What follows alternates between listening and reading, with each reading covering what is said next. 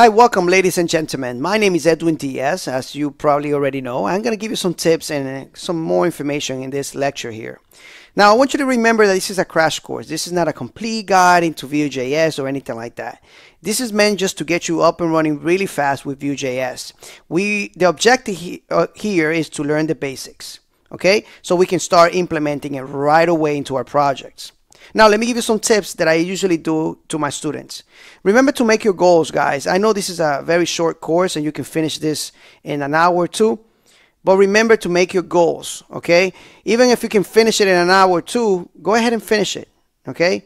Make that decision, and this goes for anything that you do in life. Make your decision and finish what you start. So you make your goals, make sure that your goals are realistic, make a decision to do whatever it is that you need to do. And then once you get into it, finish it.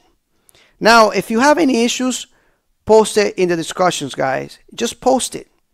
Now, if you have any personal matters that you need to tell me, maybe you you are recommending some type of improvement in the course, or you want to talk about other things, message me. I'm here. And you can also find me in my blog, edwindiaz.com, or message me at edwindiaz.com, or private message me, and I will get back to you as soon as I can. Now, lastly, I want to thank you for joining me in this course. Uh, it means a lot to me. And if you have any issues, again, I'm here for you. Or if you have any questions. See you in the next lectures.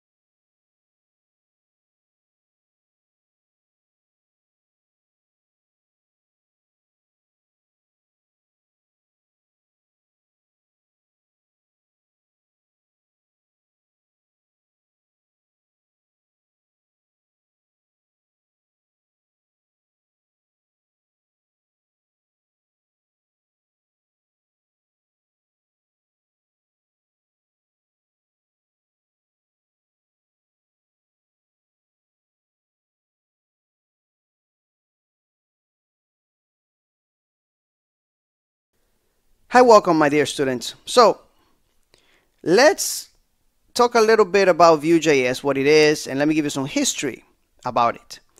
So, back a couple years ago, you know, from recording, by the time I'm recording this video, from this time that I'm recording this video, applications were not that advanced. They were advanced, but not as much as they are today, and they keep getting advanced every day. We had an HTML file, maybe some CSS, and JavaScript on our application on the browser, right? And most of the code were in the server. It was in the server. Okay, most of the complex stuff that we were doing, we let the server handle that and send back the response. But nowadays, we have a lot of that code that was in the server now in our browser working with our application. So now that made things very disorganized for us as developers. It was just a mess and it was very hard to maintain because we had so many JavaScript files all over the place with not a lot of tools to help us out. Our applications became slow and then with time they become just very messy, okay?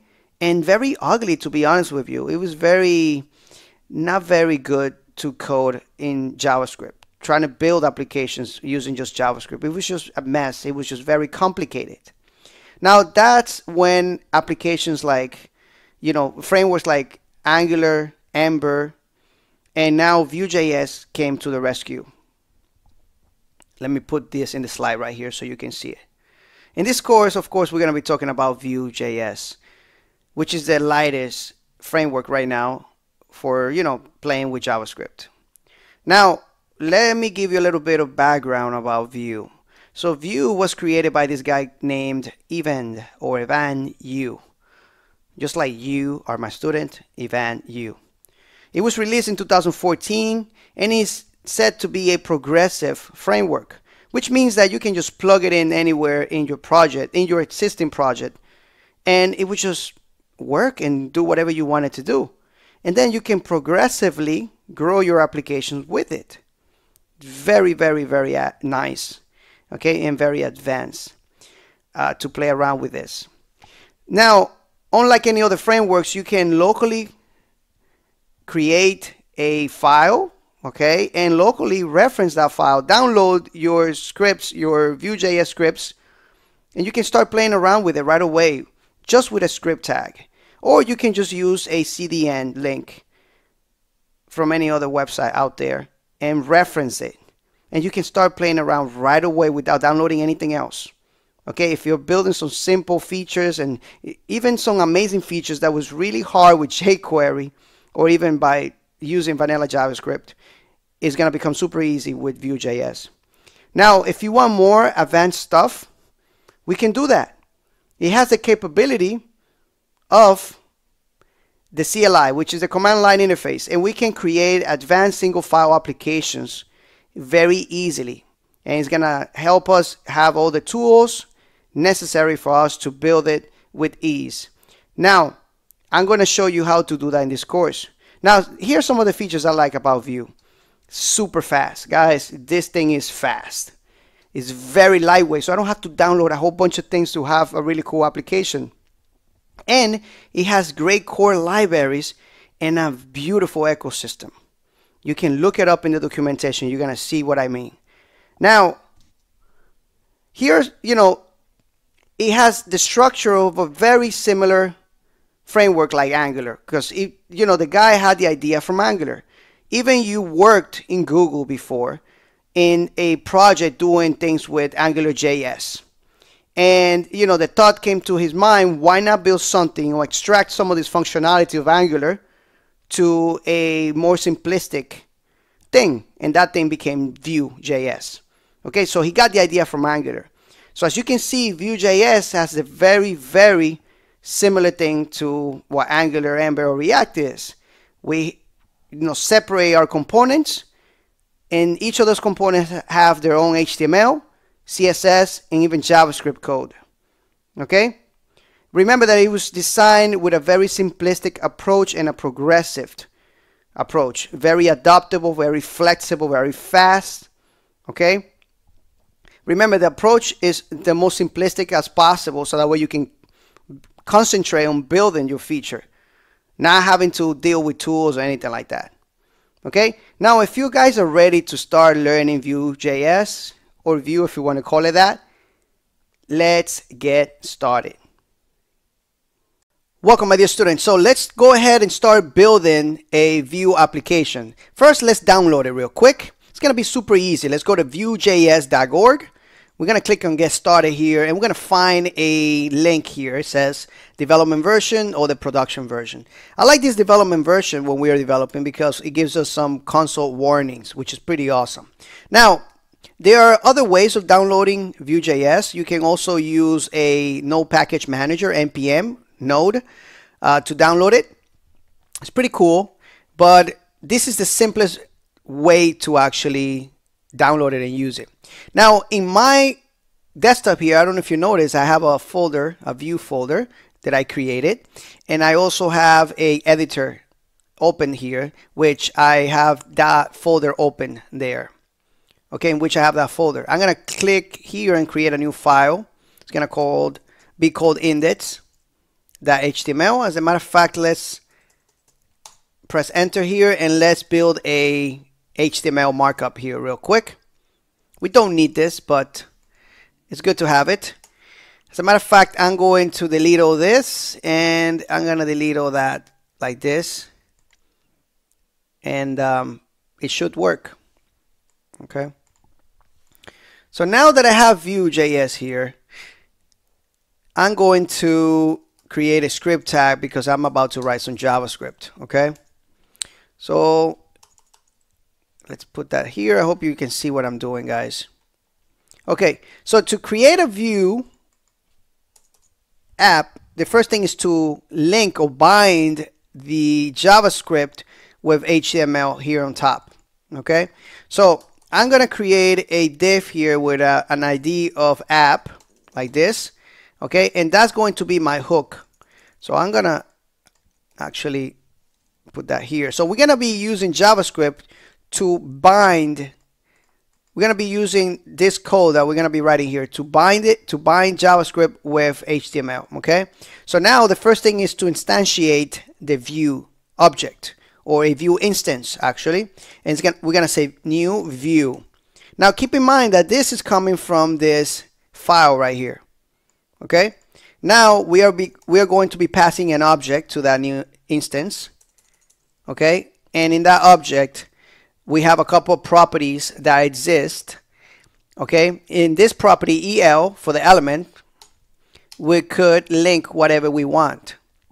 We're going to be using this as a CSS selector, and we're going to be linking the app, which is this div right here. Okay, so that's it.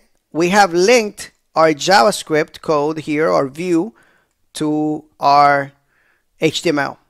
Now to make this work so you can see it that it is working, I'm going I'm going to go ahead and use another property called data, okay? And this property is an object. And in here, inside this object, I got a couple properties. I can define any properties I want. This property already exists. This is something that is built in into the framework. But the properties that I'm going to create right now are going to be my property, custom made properties. I'm going to create a property called message and I'm just going to say hello like this. I'm going to give it a value. Okay, so I hope you see what I'm doing there. Super simple.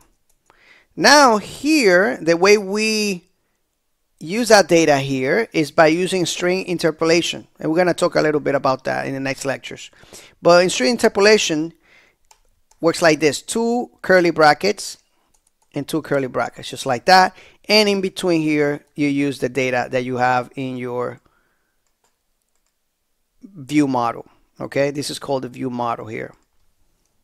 Okay, so now if I save this file with Control S or Command S, okay, in a Mac, and I view it, I'm gonna click here, you're gonna see hello there. Okay, see how simple that is? And that's it. Now if I change this again here, and I save it, come back here and refresh, you can see that that reflects the changes there. And that's it, guys. You see how easy it was to actually create our first Vue app. And this is just a small app. Okay. In the next lecture, we're going to learn a lot more about Vue. So keep tuned for that. See you in the next lecture. Welcome back, my dear students. So in this lecture, we're going to learn a little more about string interpolation, something that we did on the last lecture for a few seconds there. Okay. So let's get to it. So I changed my text editor for an IDE, which I use all the times called WebStorm. But you're welcome to keep using your brackets editor. Nothing eh, else is going to change on this course. As a matter of fact, they're both almost the same. We're going to have a left side for structure for our folders and files, and our right hand side here for our code, okay? So I want you to go ahead and do a save as on index, and we're to call this new file string interpolation like this. Okay?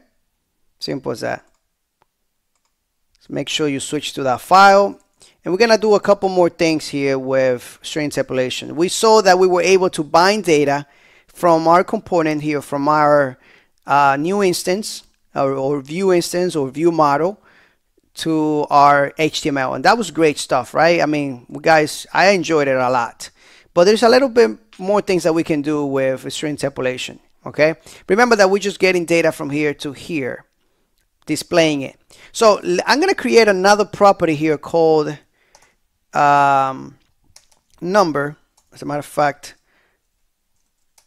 I'm going to create the property down below here in my next line. Number, I'm going to give it a value of 10. Now I'm gonna go here real quick and I'm gonna try to display that like that. And then if I switch to my browser and I refresh, let's open this up. There we go. You can see that value there. But what if I wanted to add some type of number to that? Let's go ahead and try that out to see if it works. Refresh and you can see now that the value has changed. Good stuff, guys. Good stuff. I'm going to give this a variable here and I'm going to call this VM for view model. Okay, so that way I can use this. Now it's, it's telling me that my JavaScript version is not supported. This is because my WebStorm does not know about ES6 yet, and I have to give it the JavaScript language that I want to use for my syntax highlighting. Okay, now it should know about, about that. Okay, good stuff. If you guys have not taken my ES6 course, I have a really good uh, ES6 TypeScript and Angular course, just in case you guys want to jump into those technologies as well. So anyway, we have this variable here that we can use to play around with our values here. So we can open our, inspect our DOM and open our console. If I had it here, that would be nice. I thought I had it. There we go, right here. Okay, and what I can do here is really simple. I can grab the VM and I can grab the message and I can assign a different value to it. I can say Edwin, enter, and it says now define VM. All right, so what I need to do is I need to refresh because I created this property. Make sure that you refresh and save the file. So let's do that. Let's do this again. VM message Edwin, enter, and you can see that that changes. Okay, so this is a way of actually playing around with your code. Okay, good stuff. Okay, so what else can we do with string interpolation? Well, let me show you. We can also use, we can compare values here. So I'm going to create another property. Let's create a property called is active. And let's set that to a Boolean value true. Okay, you can see it right here. Then here, we are going to say if is active. I'm going to use a ternary operator if it's if active active if it's active okay is true then I'm going to display is active. I want you to display is active. Else I want you to display is not active. Something like that. We'll come back here and refresh. And there we go.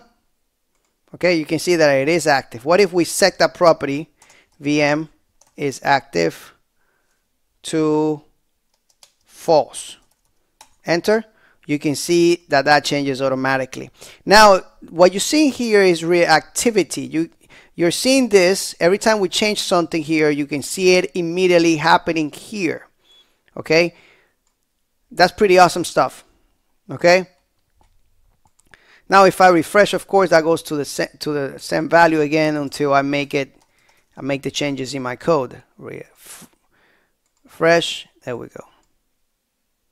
Awesome stuff, right guys? All right, so there's a lot, couple more things that I can do here. I can go ahead and play around and create a little more complex code here. So what I'm going to do is I'm going to grab message. I'm going to use a JavaScript split function to split it. Then I'm going to reverse it using the reverse function. And then I'm going to join everything together again and I'm gonna save it. And now if I refresh you can see that message now is all the way reverse. H E E L L O. Okay?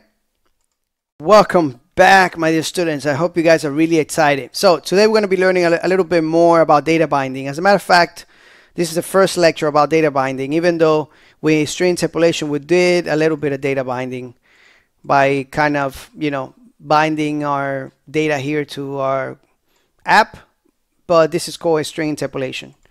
Okay, so what I'm gonna do is I'm gonna do a save as on index. I'm gonna call this data binding.html like this. I want you to follow me guys, okay? This is super important that you do so that way you learn this faster. And inside that data binding.html file, I'm gonna start showing you, demonstrating you what we're talking about with data binding. So let's say for example that you have a link here and you have some type of property here with a link address. Uh, it's called the URL that's the property and the let's just delete this message. The address is going to be https and this is going to be my personal blog edwindiaz.com okay? And you want it to actually output it right here and you would do something like this. You think you could do something like that right? We can use string interpolation there. We can say URL and we come back here. We double click on that file and we see that it is working here. But when we click it it gives us some weird address. And don't worry about this localhost here. This is my personal built-in server that I got with my IDE when you double click on your file you should be able to you know see that error as me. Like this with all these percentages and numbers in the URL string there. So this is not working okay? When you are doing things like this you might want to do v-bind which is binding that attribute that HTML attribute to your data here.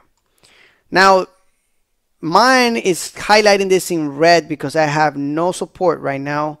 I don't know what's going on with my plugin but it's not this is v-bind is not working so I'm gonna use a shorthand which is available as well you just take the take the v-bind off and leave the colon, the colon right here, href, and that's the same thing, okay?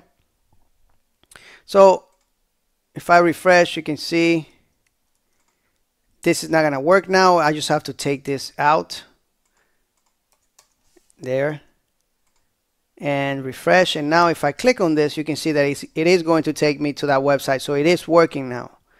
Okay, so that's one way of doing data binding. Now remember that you can bind to any HTML attribute that you want.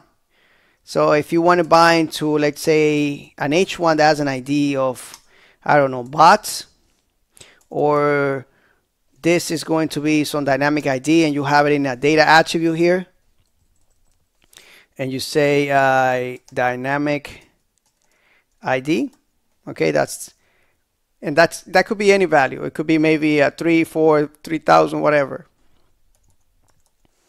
Here you can display it so you can see it. Let's come down here and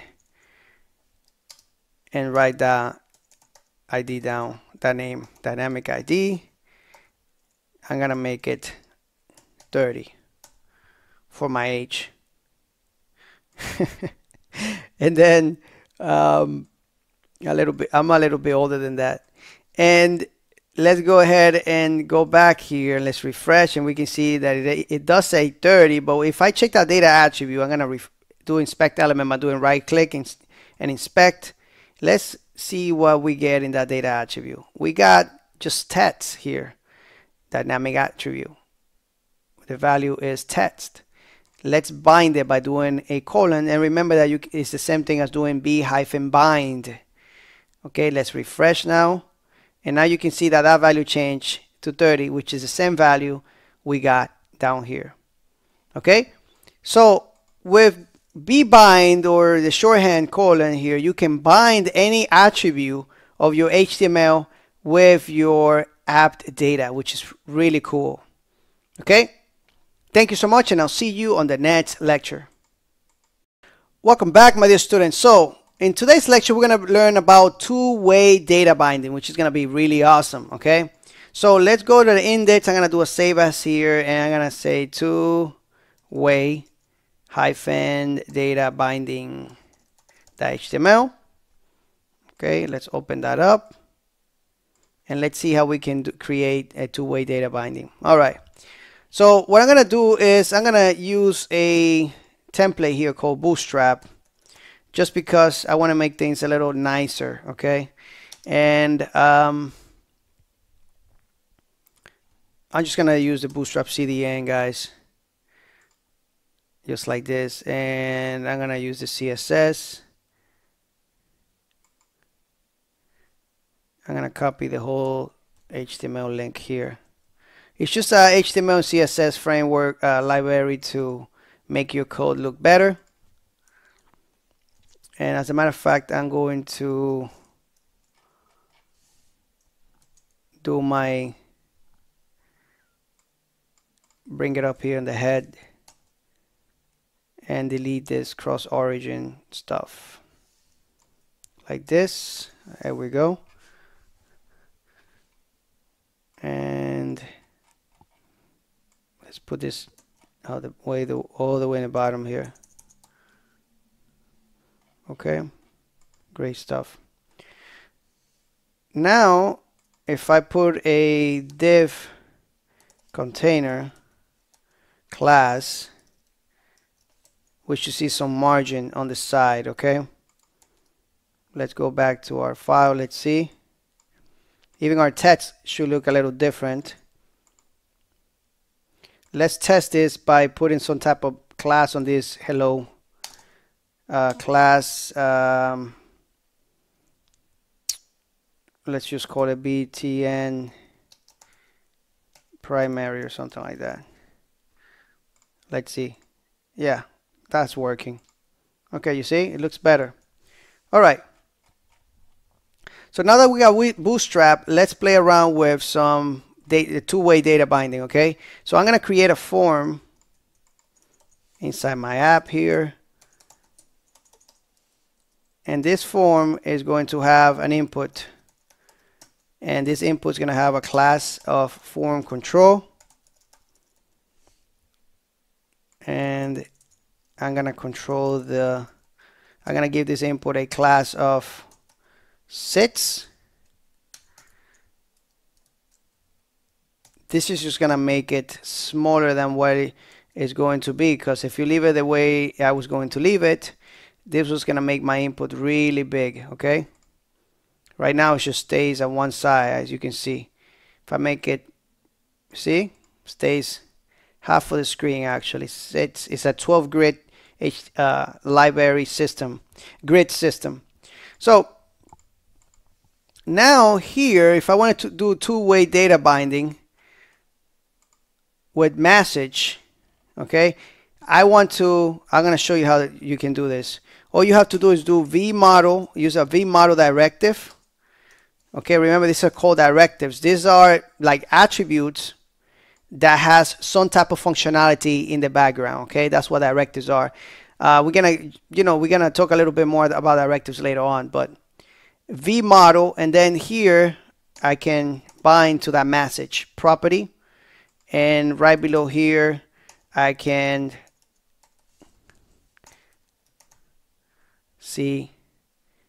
Right now if I refresh you can see it in both places. Let's take this out from here. Make sure you save your files. Now when I type in something here Edwin DS you can see it right below. The magic of Vue.js guys. Awesome. So we are binding data okay and the, the best part is that this works everywhere so if I do VM message and I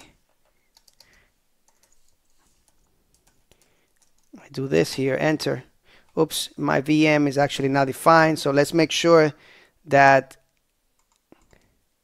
that property is defined there. That variable, let VM. And let's refresh it, make sure that our application is detecting that. Come back here and let's just say enter and you can see that in both places it changes in both places so with that directive, ng model, okay, our data is linked both ways. We got communication from the outside to the inside and from the inside to the outside. Pretty awesome stuff, right? From the outside to the inside, from the inside to the outside. Two-way data binding, guys. There's a lot more things that you can do. In the next lecture, I'll give you another example. Thank you so much. Hi, welcome back, my dear students. So in this lecture, I want to give you another example of a two-way data binding, okay? I think you're going to like this lecture. So in this lecture here, you can download a file that I got for you, okay? And um, so that way it's easier for you. You don't have to write all that HTML, okay? So let's go inside this two-way data binding guy here. And you don't have to worry about this. I'm going to have that file available for you, but I do have to copy my stuff down. Okay. All right. So if I go ahead and open this file, actually, I am, we have to do a save as. I have to do a save as two-way data binding and name that number two. Okay. And inside here, I have to paste that piece of code that I'm going to give you. And that's just going to be something like that. Okay, some inputs. All right. So what I want to do is I want to bind all the values here together. And when I take them off, I want the values to go away. So that way, when we want to send this to some type of database or something, they all go together. Now we can do this in PHP, you know, creating a form and, you know, an array inside the name attribute. But with Vue, it's a lot simpler than that, okay? So I'm going to make this smaller so you can see it. Let's come back here and let's see how we can do this. So inside the input here of each of these elements, I'm going to put V and if you said v-model, you guessed it. v-model, and I'm to name it options. Now I'm going to do the same thing for all my inputs. Paste it there. And I'm to paste it there. And now here in my instance, I'm to create a property called options. And I'm to set it to an empty array. Just like that. Okay. Simple. And in here, okay, all I have to do there is grab, use string interpolation and do options. If I wanted to show my options that I'm selecting, and I'm gonna jo join all of them, okay, with a comma, and comma and then empty strings. Now if I refresh here and I click on this, it says option one option 2, and option 3. Where is this value coming from? Well, remember that we have a value field here. Value 1, value 2, and value 3. Okay? Pretty awesome stuff, guys. Pretty awesome. Now, of course, you can bind that options to this guy right here as well. Okay? See that? Get the same thing above. Really, really awesome, guys. Really awesome. Now, keep this in mind. Look what I'm doing here. Here, they all go without the space here. They got the space. That's because I'm using options.join, which I can also use up here, right? Actually, I can't because I'm using, I'm binding this with the v-model here. Okay. Now you can go ahead and take this further and bind the value of this input, okay, and use uh, data binding there, but I'm not going to do that. I wanted to show you that this is possible and this is pretty cool. Thank you so much and I'll see you in the next lecture. Welcome back my dear students. So let's get a little bit more knowledge about directives real quick. Uh, you can also go to the documentation, find a lot more information, but directives are pretty easy. We already have been doing a couple of them, right? So let's go ahead and create a file here, a save as from index.html. Let's call this directives. Let's go to that file. And we already seen a directive. I forgot where I put it. This is a directive right here. This h1 h anchor tag right here. And we had a, I believe was a URL. Right, let's copy that right here. So that was that was a really cool directive that we learned. Let's come back here. And that's not working. That's because it's breaking down here. We forgot that colon the comma.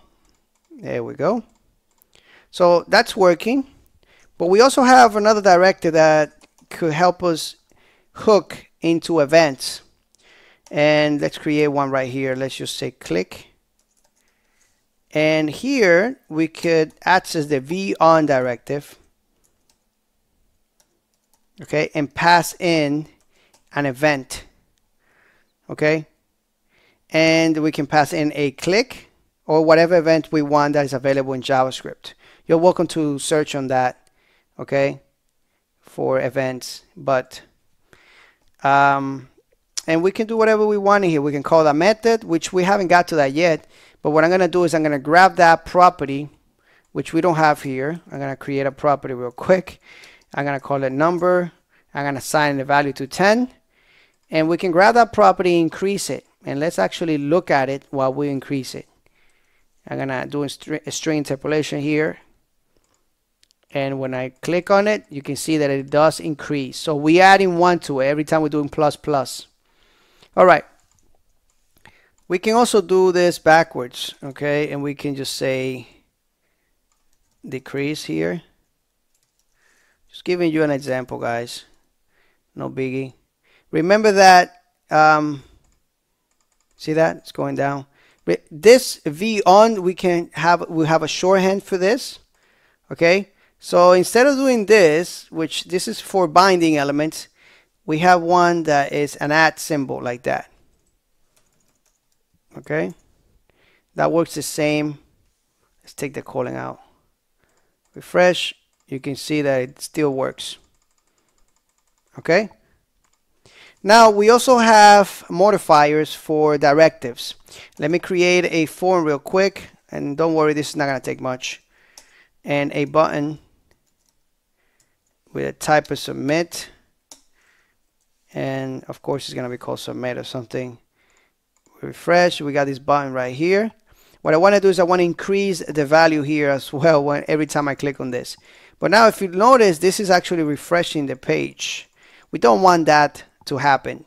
So what I'm gonna do here is I'm gonna attach a submit event and I'm gonna use a modifier to prevent that default behavior and I'm gonna grab the number and I'm going to increase it. Now if I refresh, you can see that that number increases, which is really awesome. Okay. So this is a modifier. They do have modifiers depending on the event that you're using. Okay. Pretty awesome, guys. And that's it for this lecture. Thank you so much, and I'll see you on the next one. All right, welcome back, my dear students. So in this lecture, what we're going to be doing is we're going to be looking at how we can do styles, inline styles with Vue.js, which is going to be awesome. So I'm going to grab the index again. I'm going to do a save as, and we're going to be doing this a lot, guys. So get in the habit of doing this. I'm going to be calling this binding inline styles.html. Great. Okay, let's just come back here and take all this out. Let's go to that file, okay? All right. So to bind styles, it's super simple. I'm going to show you. So what I'm going to do is right here, let's actually create some type of div, empty div here, and I'm going to display the message. Just as simple as that. Okay. You might want to put a space here so that way. Okay make sure you double click on that file and you open it up. All right. So let's say we want to do some inline styles to this using Vue. Dynamic colors, guys. That's what we're going to be doing here, okay? So I'm going to create a, let's do this after the message. Put a comma here. I'm going to create a font size dynamically. And I'm going to set this to 30, just like that. And I'm to come here and I want to style this okay? So I'm gonna bind the style okay by doing colon style. Remember that shorthand right? And then I'm gonna pass an object right here like that with the curly brackets. And I'm gonna say well I want to add a color okay? So I'm gonna add a color here of red this is something that I don't have down here yet. Okay, that is going to be static. So I put the quotes there. And I'm going to put a comma here because I'm going to add something that is, okay, dynamic right here, font size. And font size, I'm put a colon there because it's an object. And I'm going to pass in the font size right here. Now, one thing to keep in mind, this font size is what we have natively in HTML in the style property. Okay? you're gonna see something like this font size okay as a matter of fact you can look it up CSS properties okay and font size it looks like that but when we need to what we need to do is make a camel case okay remember that you got CSS property and then you got JavaScript styling okay JavaScript um, style properties. Okay. So there is a lot of JavaScript right here. Font size, font weight, font size right here. So remember that we're using JavaScript, guys. So you need to research what of, you know, what property works for your um, JavaScript instead of CSS. So, so this is the JavaScript version of that styling. So, um, font size, and this is the dynamic data that we, the property that I got down here. But we need to add pixels to it, right? So I'm gonna do a little concatenation here. I'm gonna add px to it. Okay. So now if I go back here and I refresh, you can see that that looks even a little bigger, right? if we inspect it, you can see that that property font uh, the color is red, the font size is 30 pixels. Pretty awesome stuff, right? All right. So if I come here, let's go to the, let's create a variable here and let's call this VM. Let's refresh and let's go to our console again. And you can inspect the element and go to console guys, okay? but I have the short the key. There we go. I got the keyboard key for my Mac to do that. So I'm gonna grab the VM okay? I'm gonna grab the font size and I'm gonna assign it to 100 let's do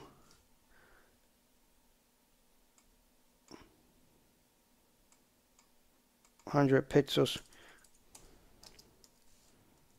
let's do a hundred pixels oops.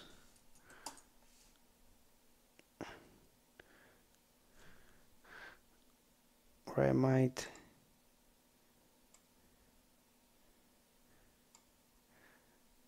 I'm grabbing the wrong property. I don't need this. I just need hundred. VM is not defined. Okay sorry about that. We need to sometimes you need to refresh this a couple times. All right. So font size 100 enter and you can see that that changes to that size okay? So sorry about that guys. Now that this is working let's go ahead and give you another example real quick on this lecture.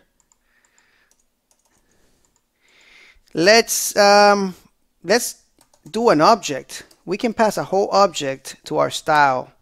So I'm gonna do style here. Actually it's this way. Okay.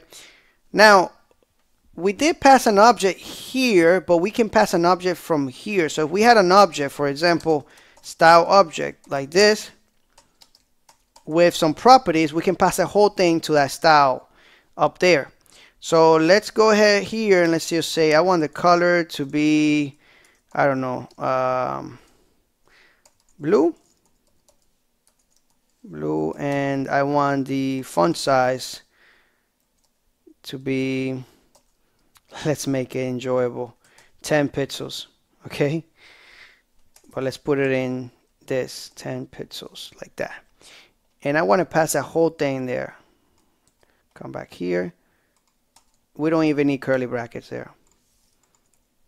And what I'm going to do is, this is also going to be message.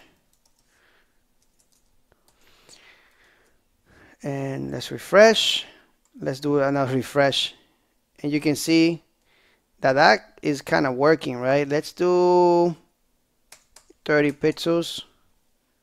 Refresh a couple times. And there we go. All right. Really awesome. Let's take this a little further and let's create another style object. And I'm going to call this object number two. Okay. And I'm going to change this with yellow.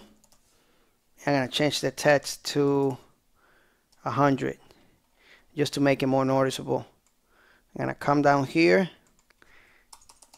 and I'm going to pass an array here.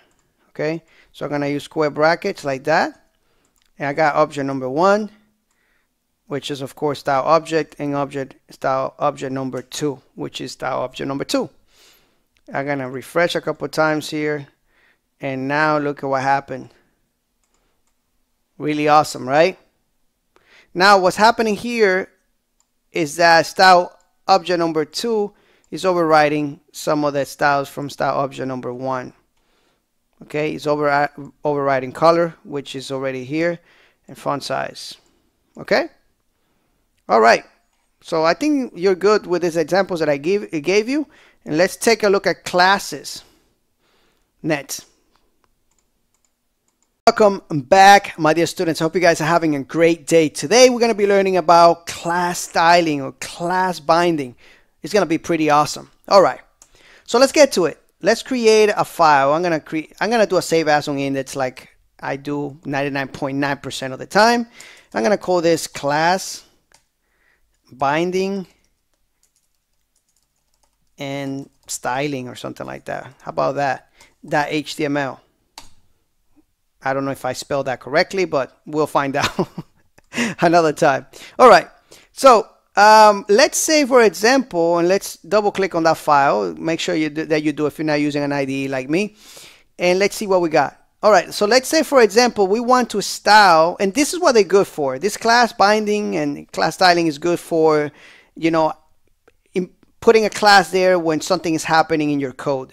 The same thing with styles, okay? But with classes, they are more useful. In my approach, personal approach, classes are more useful because you can just define the class and we're going to, actually we're going to do that right now. Okay, we can define the class up here, let's say a class of active and um, put a color of uh, green. Okay, and then do a not active class. And we're gonna put a color of um, red or something like that okay? So let's just make this tight as possible. We can even put it in one line if we wanted to okay? All right. I don't recommend this but you're welcome to do it all right so if I were to add this class here and I refresh you can see that that changes to green. Good stuff, right? And if I change this, I put the not active one, that changes to red. Good stuff. Let's just add a class that we don't have there because I want to show you something later. Um, static or something. Let's take that back to black.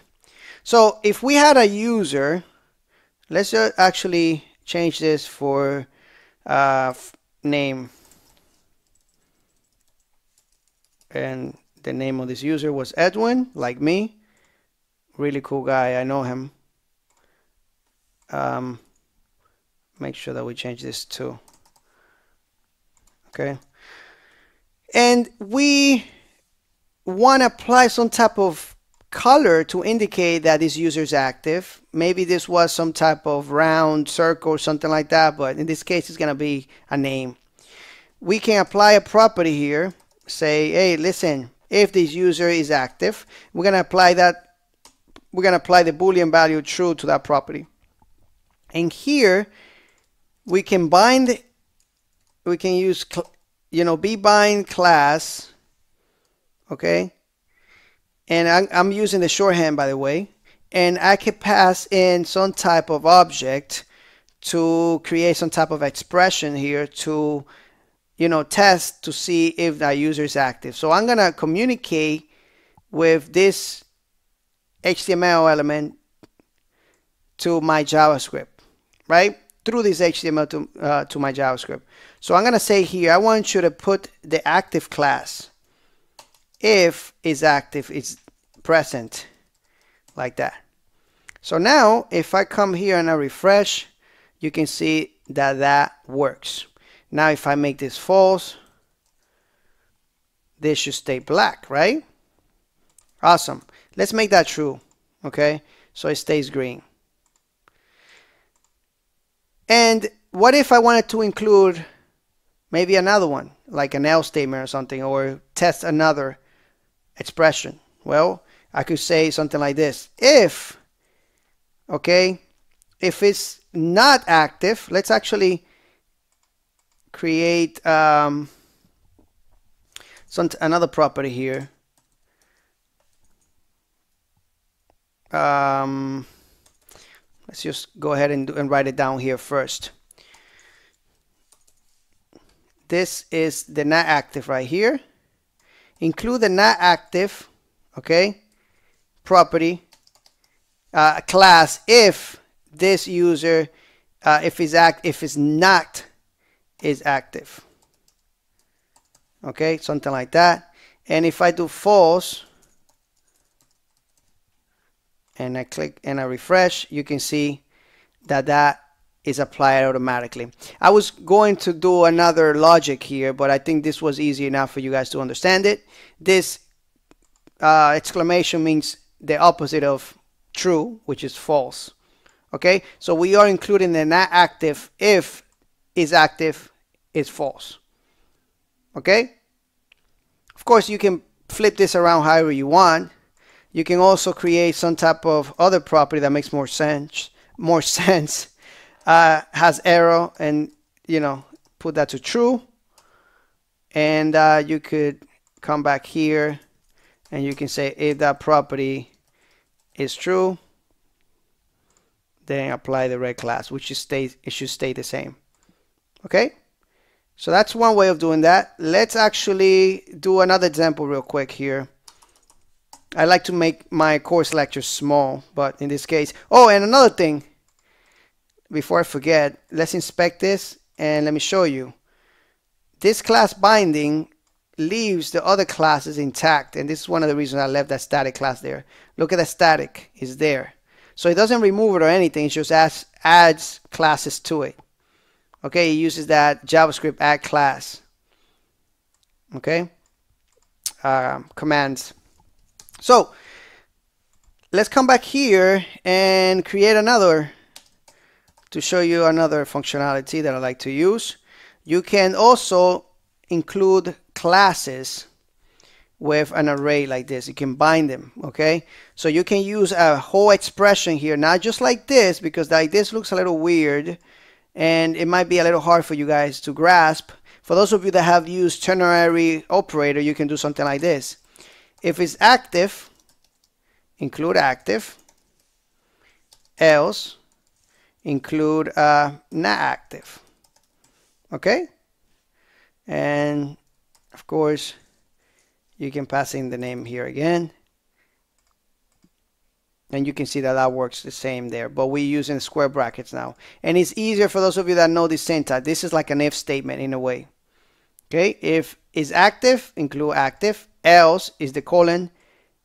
If it's not include not active. It's shorter and for me it's a lot simpler than doing something like this right anyway thank you so much for watching guys i'm gonna leave it like this and i'll see you on the next lectures Welcome back, my dear students. So in this lecture, we're going to be learning about the event binding. It's going to be pretty awesome, okay? So let's start. In the index.html, actually, you know what?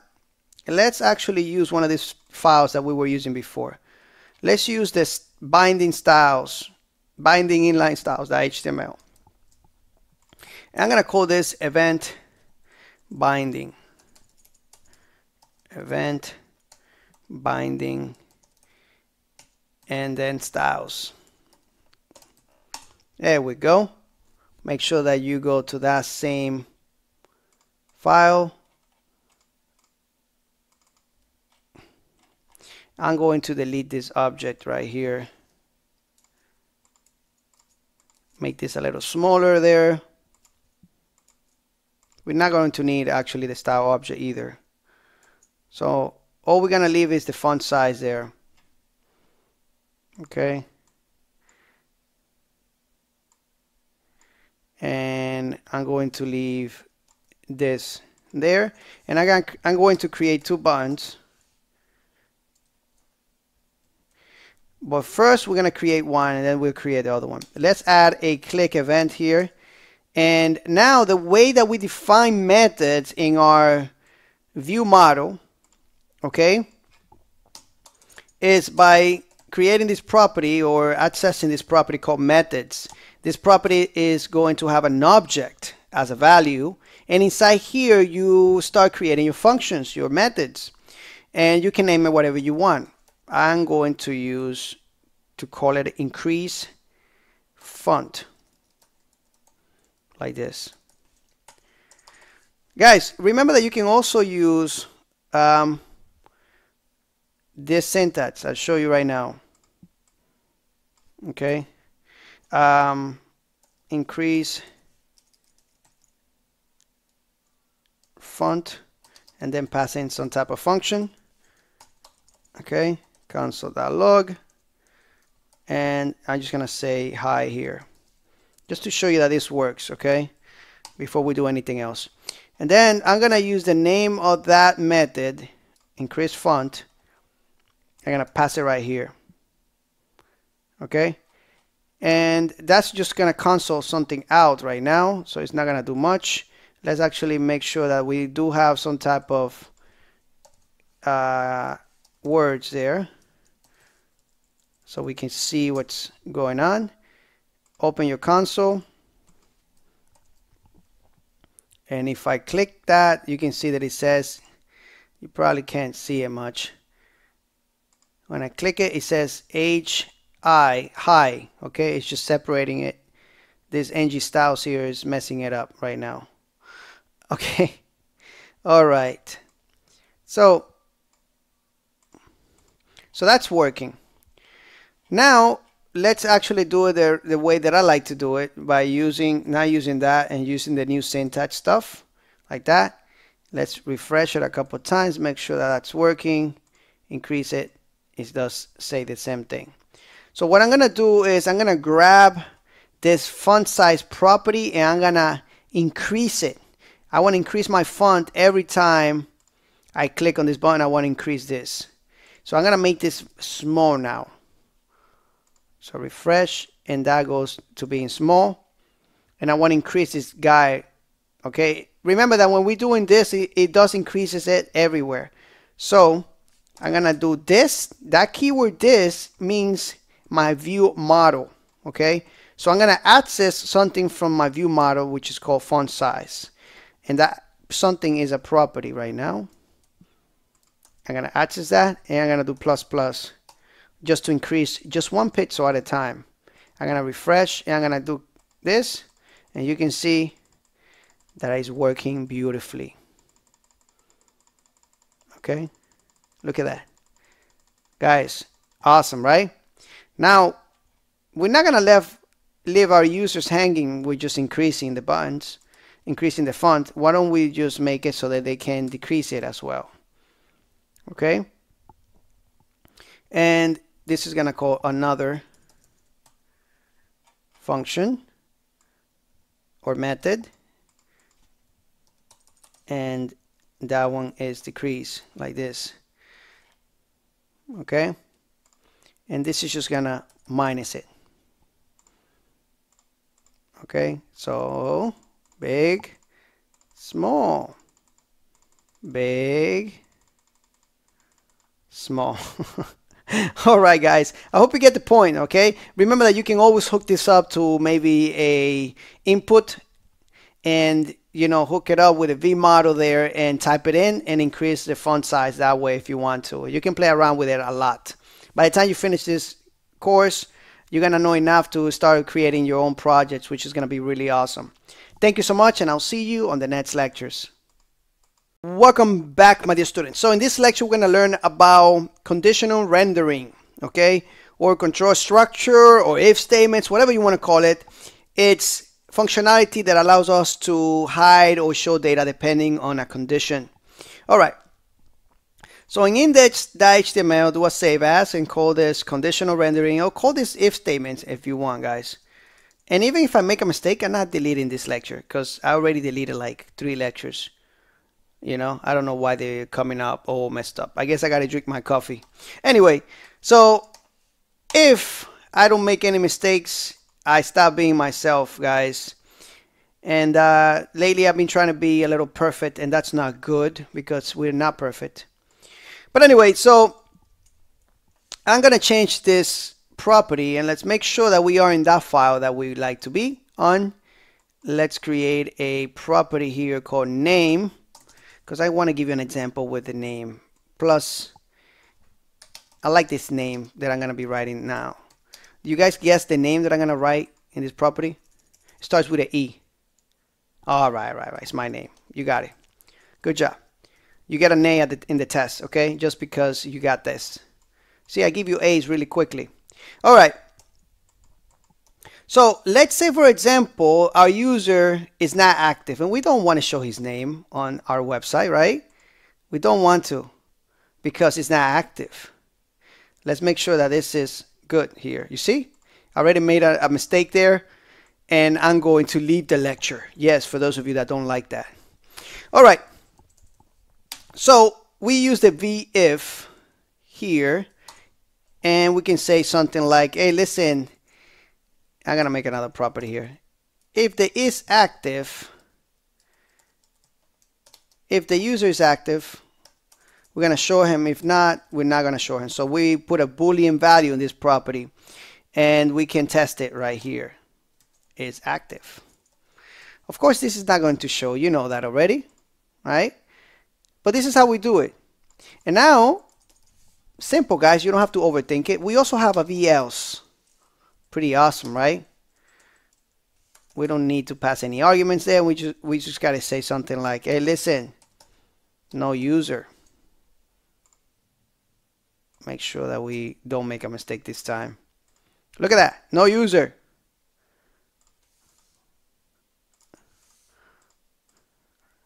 And guess what? We also have another. The else if. Oh, Vue.js. I am in love. I hope I hope he's a woman, not a guy, right? I'm saying I'm in love with Vue.js, right? Um, so here we could, if we wanted to, try to see if the name is equal to something. If the name is equal to Edwin, we can say something like, hey, hey, Edwin, what's up? something like that. I don't know if I'm writing what's up right. Hey Edwin, what's up? I'm gonna refresh here and okay, this is not working. Why is this not working? Oh, because the name is not as Edwin is Edwin Diaz right here. All right, so I'm gonna put a space right here and then I'm gonna go ahead and do refresh. Oh man, look at that guys. I want you to clap, put your hands in the ceiling and say, party, we got it. So I hope you guys got it real quick. Um, and that's how we do conditional rendering. So if you look at this, now you know what it is. Thank you so much. I hope you had a good laughter and I'll see you in the next lectures. Hi, welcome back, my dear students. So in this lecture, what I want to do is I want to show you how we do, how we loop in Vue.js, how we do list rendering.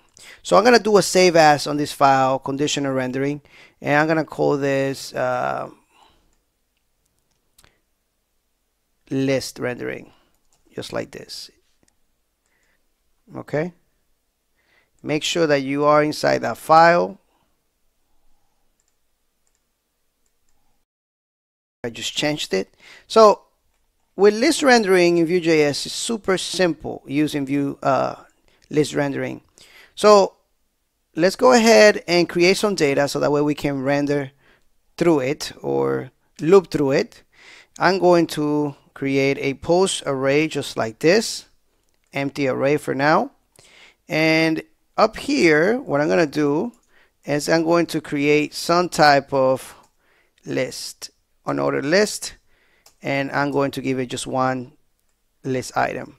So the idea is this, we need to multiply our data, loop through our data, and repeat the list items. We don't need to repeat the UL, right? They don't know The list.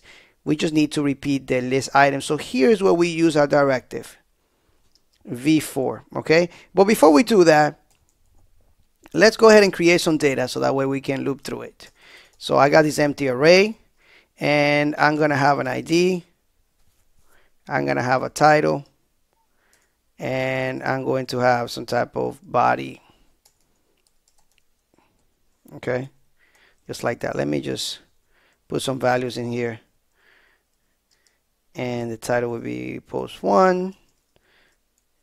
And maybe we have some type of words here. Let's put a comma here as well.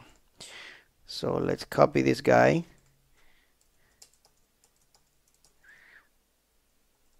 all right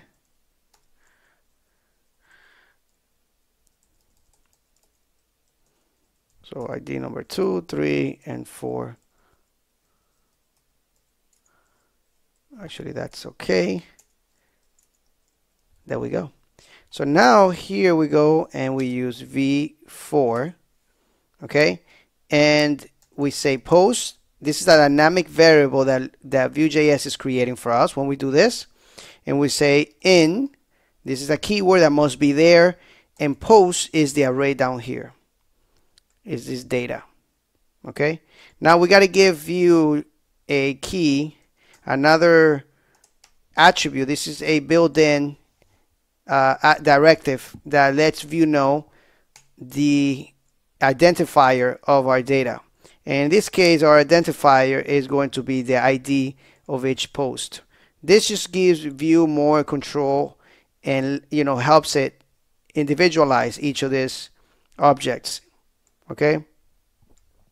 So it just helps with processing a lot. So now that we have that we can display our data. And I'm just going to display the post title just to give you an example here okay? Now we open our browser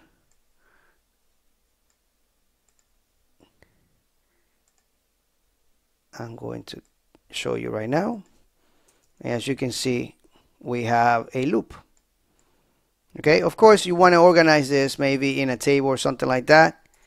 And if you had a table, for example, like this, you might want to multiply your rows. Okay, just to give you an example. So this is how we loop through data in Vue.js. Thank you so much, guys, and I'll see you in the next lectures. Welcome back, my dear students. So in this lecture, we're going to learn about computed properties. Now, there are times when you want to create some type of complex code right here, and you know, you want to take it down to your JavaScript. You can use methods or you can use computed properties. And that's exactly what I'm going to do. I'm going to do a save as here, and I'm going to do computed properties. Here we go. Hopefully I'm spelling it correctly. If I'm not, guys, forgive me. All right. So let's grab this code from a string interpolation here and let's place it right here and let's make sure that it is working. There we go. So let's look at how we can create computed properties. Right at below the data, I'm going to create or input another property called computed. It's going to be an object and all we have to do here is give it a name just like we do with uh, methods. Like that. And all this is going to be doing is returning some type of value. Okay. You can come down here. You can return this. Remember that we have to refer to this as this that message because we are inside our element, our um, app or view model. Okay. Now, to get the same functionality, all we got to do is refer to this name. We don't need the parentheses. Refresh, refresh, now refer. there we go, guys. Super simple to create computed properties, okay? Remember to tighten up your code a little bit. Okay, make your code clean and nice.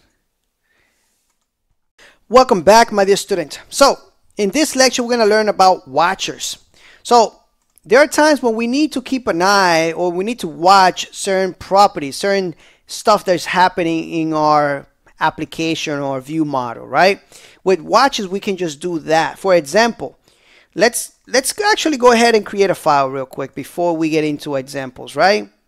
So let's do this one. Let's call this watcher.html, okay? And let's say, for example, we have a property here called is active. Let me take this out from here. All right. So is active, and I'm gonna set this equal to active, just the keyword, the word. And here, let's say we have a name, Edwin Diaz. And what I'm gonna do here is I'm going to say, well, um, if it's active equal to active, I want to display user is active or is active. I know this seems a little confusing, but just stay tuned, okay? Stay there. And if it's not, then we're just gonna say not active, okay? Just trust me, this is gonna work, okay? Okay, it says Edwin Diaz not active, right? So that's pretty cool. Actually, active is with a V. There we go. And now if I do refresh, it says Edwin Diaz is active. Okay. So let's say, for example, we have this property and I could easily write a boolean value here but I wanted to actually write this because I'm going to show you an example of, of something later on. Let's say for example we have a user that is registering in our app online. And as soon as they register we you know we send them an email to register you know as soon as they register they click the email they go back to our site our app and then we go ahead and validate the user and turn this property into active. Right now it's not active. Not active. Okay. So the user is not active. Let's refresh. But when they click on that link from the email, they get activated. But we also want to send back an email to the user congratulating them from or thanking them for registering in our app for activating their account. How can we keep a watch over this value right here? It would be nice that, you know, when we switch this to active, that we can send back a, the user an email. A functionality is activated once this switches. It would be nice if we can get a functionality. How can we do that? Well, with watchers. With watchers, you can set, you can use this property right here called watch. If I can spell it right, that would be nice. And it's an object. And inside here, you just use the same name as a property because you want to keep an eye or a watch for this. And you're going to execute a function as soon as something changes in that property. Okay? You can do whatever you want inside the function. I'm just going to be sending a message. We're going to make believe that we're going to be sending the user an email. Sending an email. So, right now, the user is not active. But as soon as the user is active, watch what's going to happen. Let's go ahead and use a variable name here to control our view model. And let's refresh. Right now I'm going to do VM is active. I'm going to set this to active. Enter and you can see that immediately something changes, I'm executing what's inside this function right here. I'm keeping an eye open for this guy. I'm watching it. But not only that, we can always, we can also access the value of that property, whatever that value is at that time. So I can create any variable I want there and I can concatenate it right here to show you guys new value okay are you seeing this? I take it from here and put it right there. Now let's refresh this again. And now the user is not active. When I make him active I'm sending an email and at the same time I'm accessing that property value. This so you can see it better. Enter. Right there. Okay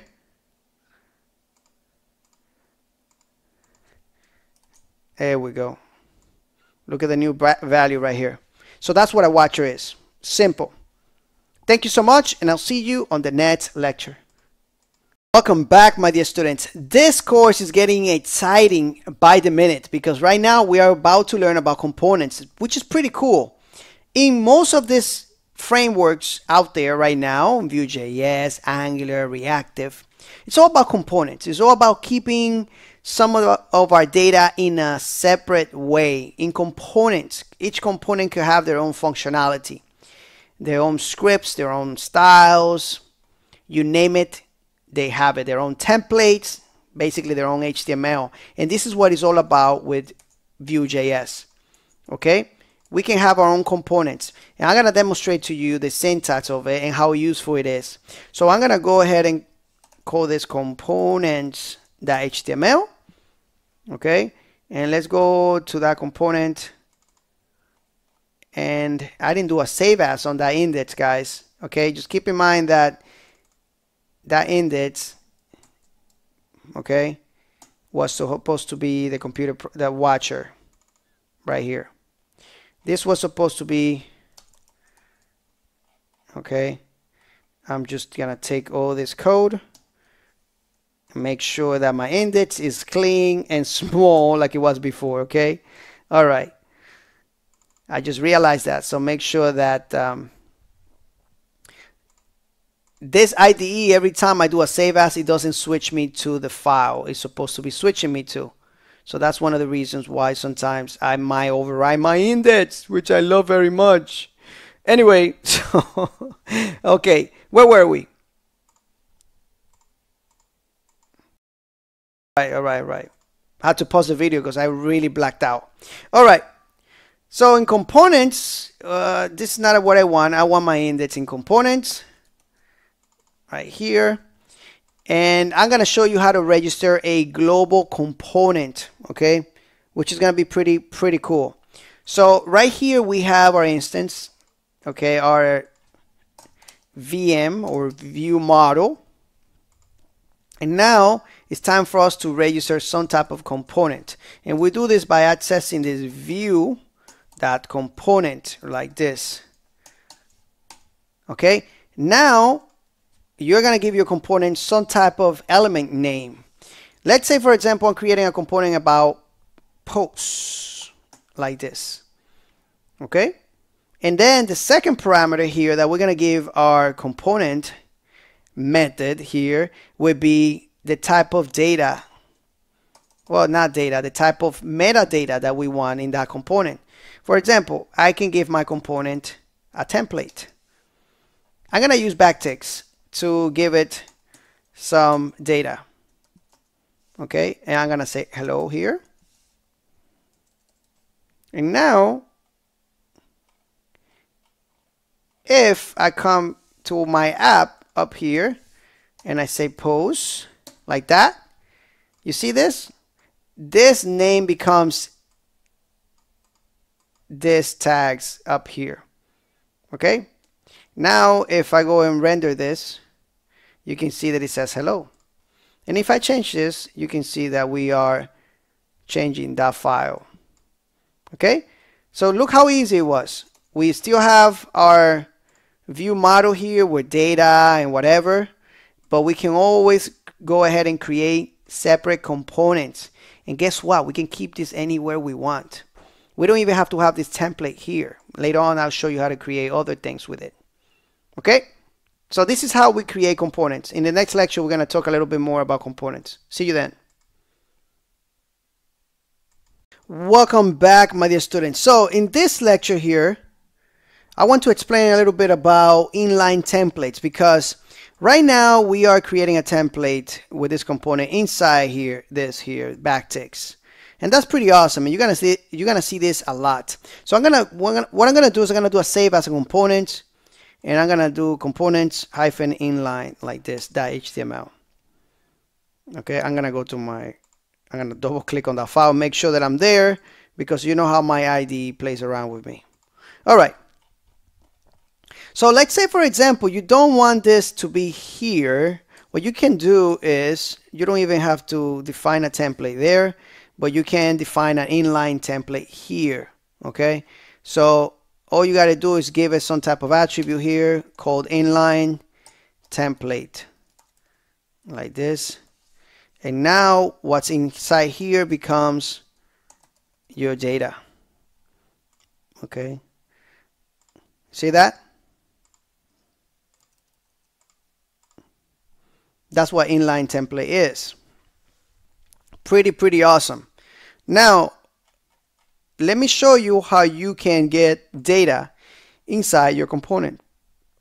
For example, if we want a click event here, I can say click and you know, I want to activate some type of function and I'm going to say it's going to be called display or something like that.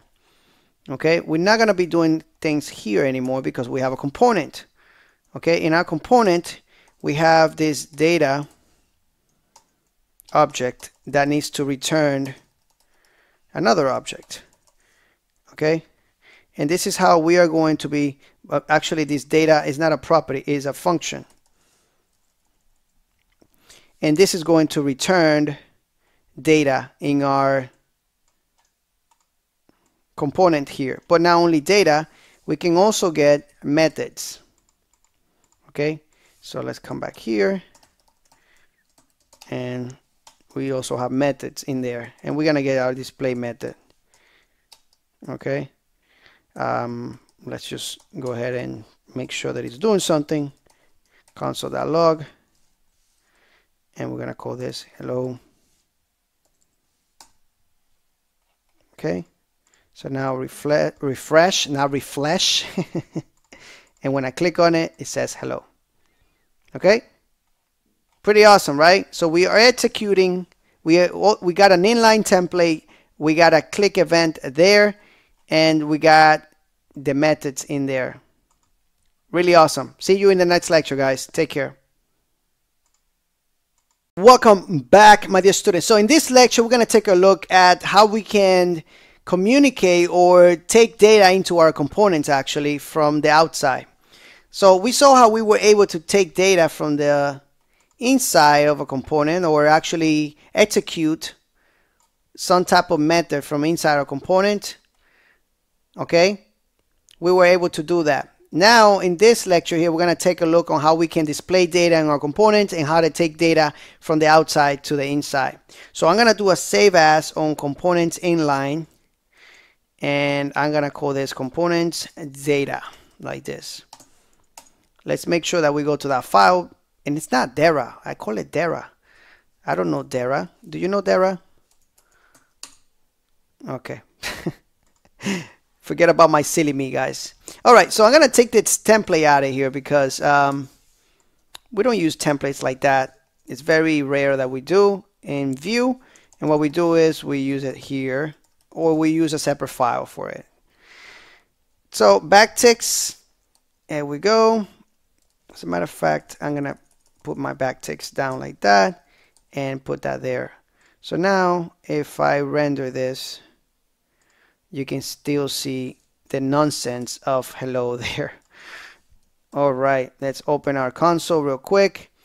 Click it and you can see that that still works. Okay, so now if we want data in that view, we can display data just like we used to before. Message uh, Hello, Edwin. okay. And now here we could display that message right? Pretty awesome. Hello Edwin. There we go. Really cool stuff right? And then of course we get that click event happening. So we get everything the same here so like I mentioned before how can we take data from the outside of our components from here? Let's say we have an ID somewhere and we need to take this ID and use it inside our components. Well we bind it. We can use let's say for example the data attribute here and we can take an ID of let's say 34 we just use the bind the v-bind and then here what we do is we create a props. We're not creating this exists already. A props property with an array syntax and we give it a name of whatever data we're taking in. So this attribute name is data so I'm just gonna do that.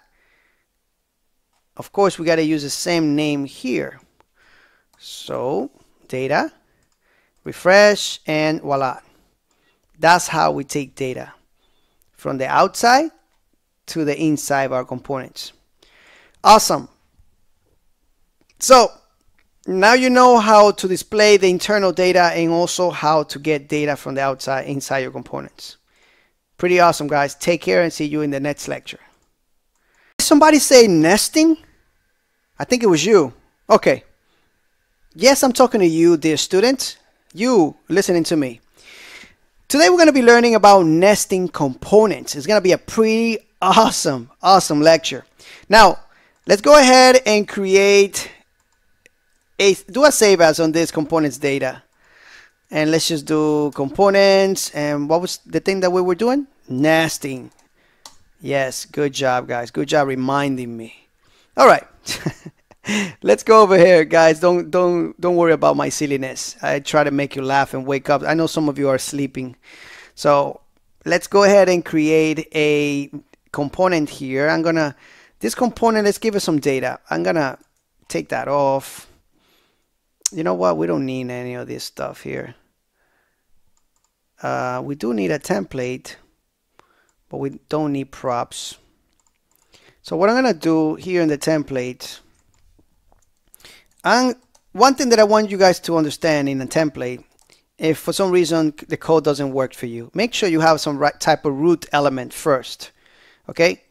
A root element like this, like div, and you know the closing div, whatever. And then inside your template, then you have the rest of the code, okay? Because this might not work if you don't have a root element. I know I think I got stuck in that when I first started with Vue.js. That was uh, some time ago. But anyway, so what I want to do is I want a list of posts. But before we do that, I want something like this. Let me show you the the only thing I don't like about this backticks in my IDE is when I'm trying to indent my code really well, it doesn't work. All right. So I want something like that with, you know, the title like post one, you know, something coming from the database. But I want to use components and I also don't have that data. So we need to have those two things. Okay. Oh, I don't like this. Let's just do this real quick. Oops. All right. Uh, there we go. All right. Okay. Each IDE has their own way of doing things. Anyway, so I'm going to take this off. I'm going to just leave one. Okay. And in the data, I'm going to create a post array like this. And in this post array, we're going to have different objects. It's going to have, they each going to have an ID and each of them is going to have some type of title. In this case, they're going to be post one. And I'm going to do command, well, I'm going to copy and paste all of them like this. Oops. That's enough. Give it a different name. and 5. This is 5, 4, 3, 2, 1. Boom! Explode. All right. So now what I want to do is I want to display a pose for each of these objects. We don't have a post component. We do have a post component which has the S, right? We do have that. But it would be nice to have another component just to hold this each individual post. Okay? So that's what we're going to be doing. We're going to make this guy in charge of everything else. This post component is going to have the other one embedded inside. And we are going to be doing that right now. So instead of this li, okay, instead of the li being here, we are going to make it so it's available somewhere else. Okay, so it's going to be post, but we don't have that component yet, right? So we, we need to make that component. Let's come back to the end of this guy right here and let's create that component Vue that component. And it's gonna be post like this. Now that second parameter here this is gonna confuse you a little bit but don't worry I'm here for you. And it's gonna be a template but what we want for the template for this component what the only thing that we want this component to have to be is an li li tag okay but now we need to tell Vue that whatever data comes in between this component, okay, it's this data right here. So how can we make sure that, okay, Vue knows that whatever comes here comes from this guy right here? Well, we use what's called slots, like this. Okay? And all it is is that whatever data we're going to put in between these components, between here, is going to be the same data here. That's all slots are. Okay? So, now, what I want to do in this post is a v-for. Okay? So, I want to loop through my post. I want to create a post variable in post okay? And then I want to pull out the post title from it. I'll explain to you how everything works. I know this might look a little confusing but I will explain it to you okay? So let's go back here and let's try to see if we get something here okay post title things are not coming out let's see the error that we get I got a pretty good common idea as why Right now it says Vue common is not a function. Vue, because I misspelled Vue component right here. You probably saw that. And now let's go back here and refresh. And now we can see each of our posts. Pretty awesome. Okay. Now, one warning here that it's giving us, and I wanted to tell you about this, is that when you're rendering, let's is is telling us that we should explicitly explicitly okay define the keys okay? So what they want what Vue.js want is for us to let them know about each individual component like what makes this component different than the rest or I mean this individual object what makes this object different from the rest of the objects and if you notice the IDs are different, right? So we can tell Vue, listen, the key of this component, and we can we can bind it like this. The key of this component, because it's expecting that key uh, binding, it's expecting it. The value of that is the post ID. That is the difference between each of these objects. So now Vue is not going to have a problem with us. They're not even going to give us any warning or anything. See that? Awesome. So now let's recap on what we did, okay? All right. So we created the main component post, right? We gave it a root element. We got a UL okay, another list here. And we have this post component that we created down here.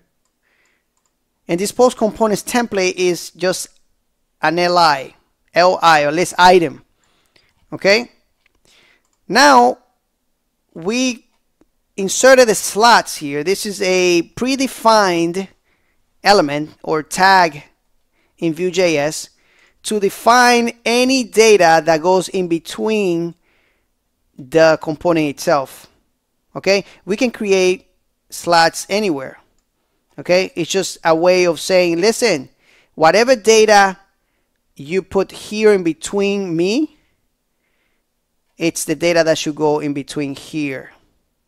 Okay, because remember, we're using the slots right here. If I take this off and I do refresh, now the slots are not going to have anything. I mean the LI because right now we can't put any data here unless we tell Vue.js that we want data. The only way to tell Vue that we want data is by putting slots. Right now, if I put this data in this template, in this component, that's the data that is going to show. You understand? So we need to put slots to make that data dynamic and to tell Vue.js that is this data that we want, the one in between the opening and the closing post tag. Okay? And then we're using the for, okay, to render each of these objects. We're making a dynamic variable in post, in the variable in the array post, and we're giving it a key, an identifier to let Vue.js know that each of these objects are different and it should treat them differently. So we get, we're giving Vue.js more information and it doesn't complain and then we're using this variable here, dynamic variable, to pull out the title of each object. And we're getting those values there. Super simple, guys. Thank you so much, and I'll see you in the next lecture. Welcome back, my dear students. So in this lecture here, in this first lecture, I'm going to be, you know, explaining a couple things that we're going to be needing to create really cool projects with Vue.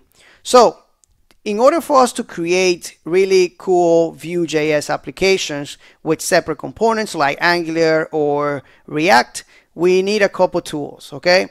So the first tool that we need to have, and you need to do that with Angular and React and all that stuff, is to have some type of manager that will allow us to download packages, JavaScript packages, right?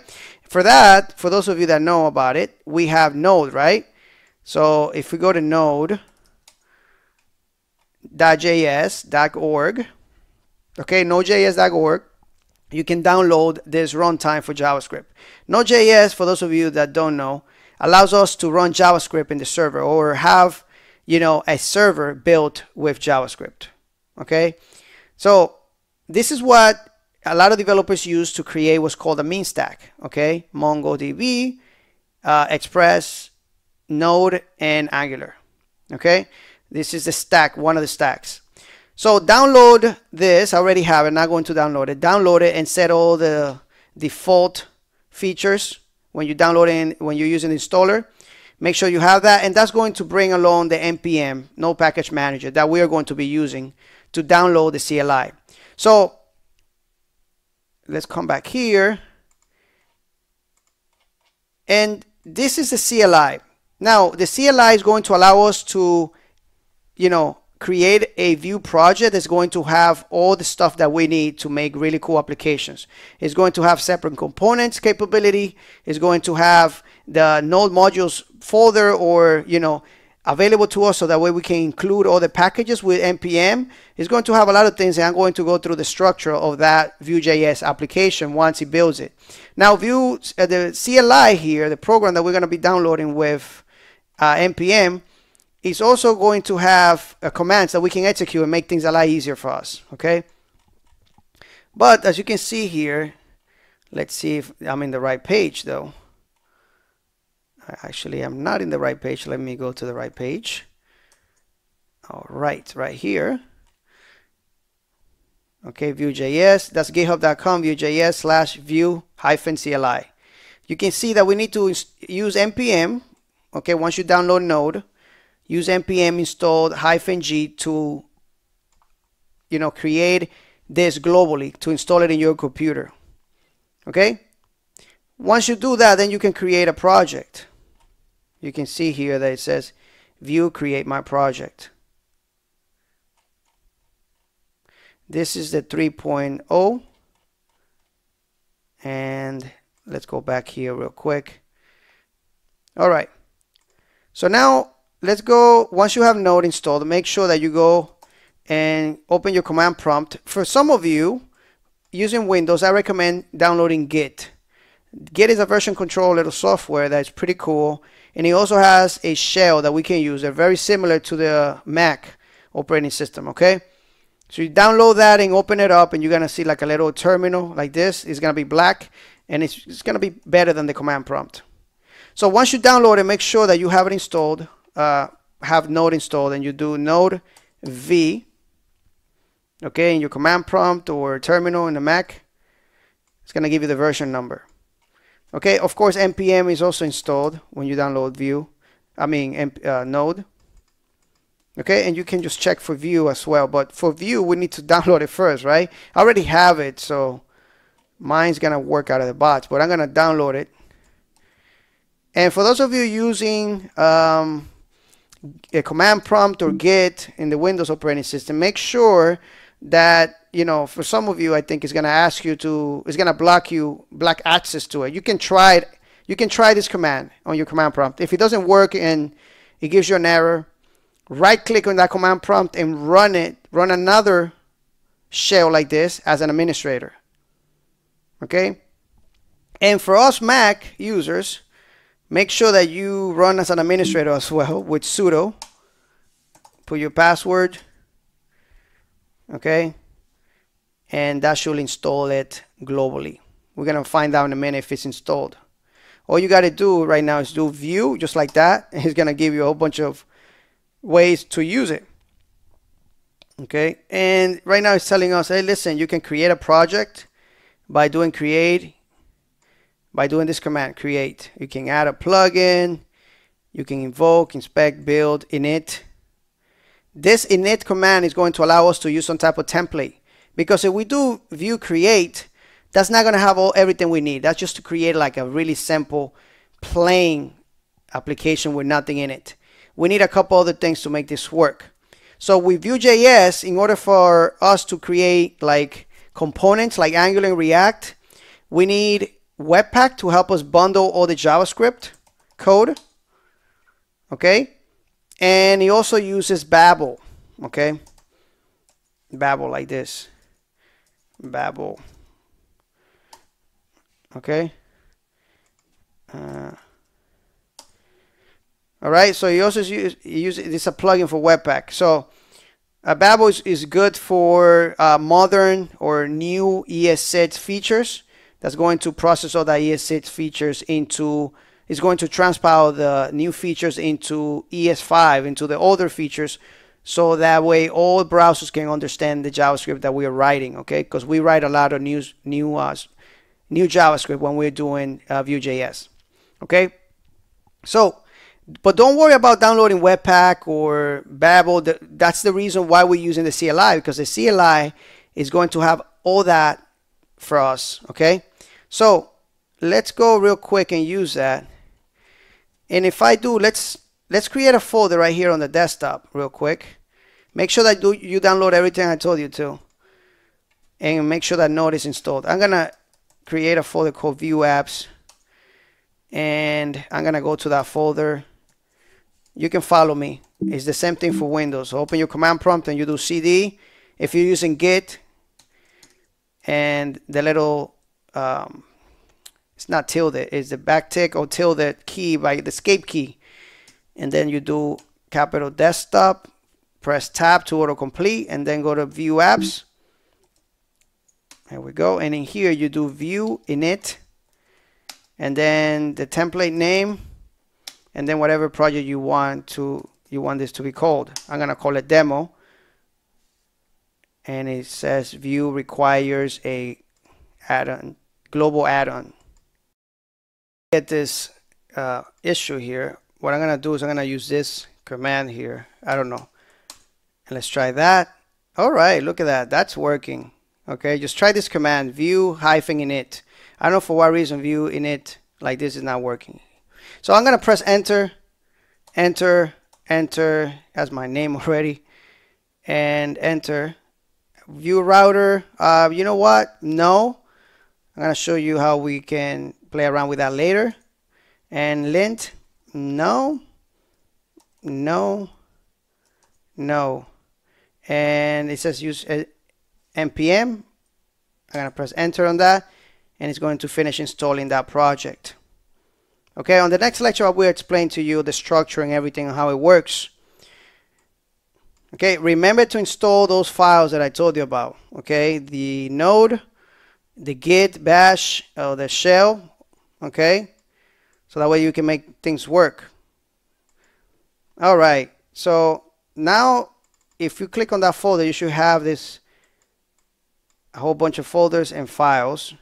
Let's get go ahead and open that up in some type of editor or IDE. Okay.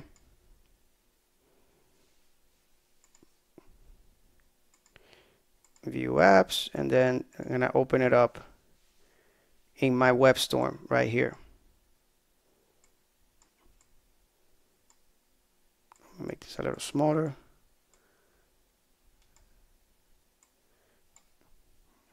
Okay, and you should have something like this. On the next lecture, I'm going to go through all the structure here, almost all of it, because we don't need to know all of it, but I'm going to go through the main things of the structure, and I'm going to explain it to you so you have a better understanding. See you in the next lecture. Welcome back, my dear students. So, in this lecture, I'm going to go over some of the things, you know, that this CLI does for us with this file structure. And I'm going to go through the file structure here so we created this project with the CLI, a command line interface, and it created all these folders for us. Now, keep in mind that it configured a lot of things for us as well. For example, it configured um, Babel and it also configured Webpack. Remember, Webpack is going to bundle all our files. And Webpack is a program that is going to have other plugins like the Vue Loader in this case which is going to be responsible for the vue loader is going to be responsible. I'm going to show it to you right now. Right here, the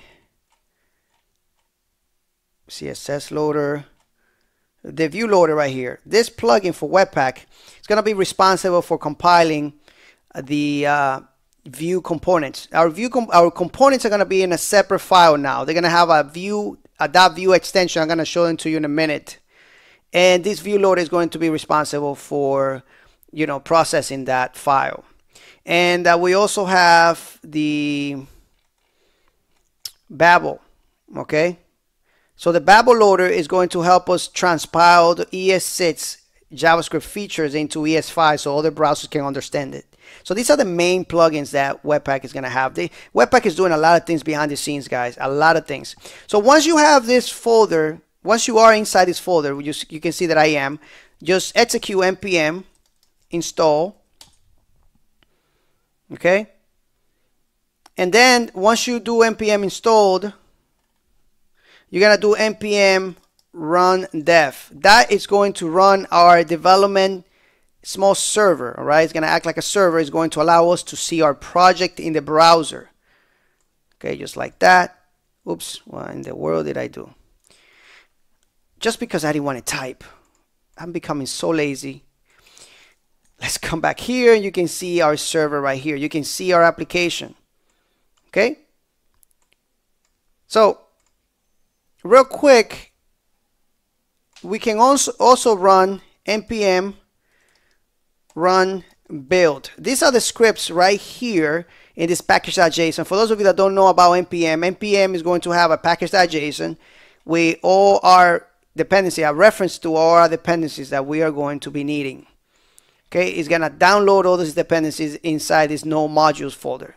And then we can do imports and refer to those dependencies, those packages in our program. You're gonna see that later on. Okay, so when we do npm run, we are executing these scripts right here. Right now, we're gonna be executing build. Build is gonna run this file with node. Okay, npm run build is going to create you're gonna see this in a minute All right, don't make me look bad in front of my students. Let's see, let's see what it's gonna do. All right, I'm gonna pause it and come back, guys. All right, npm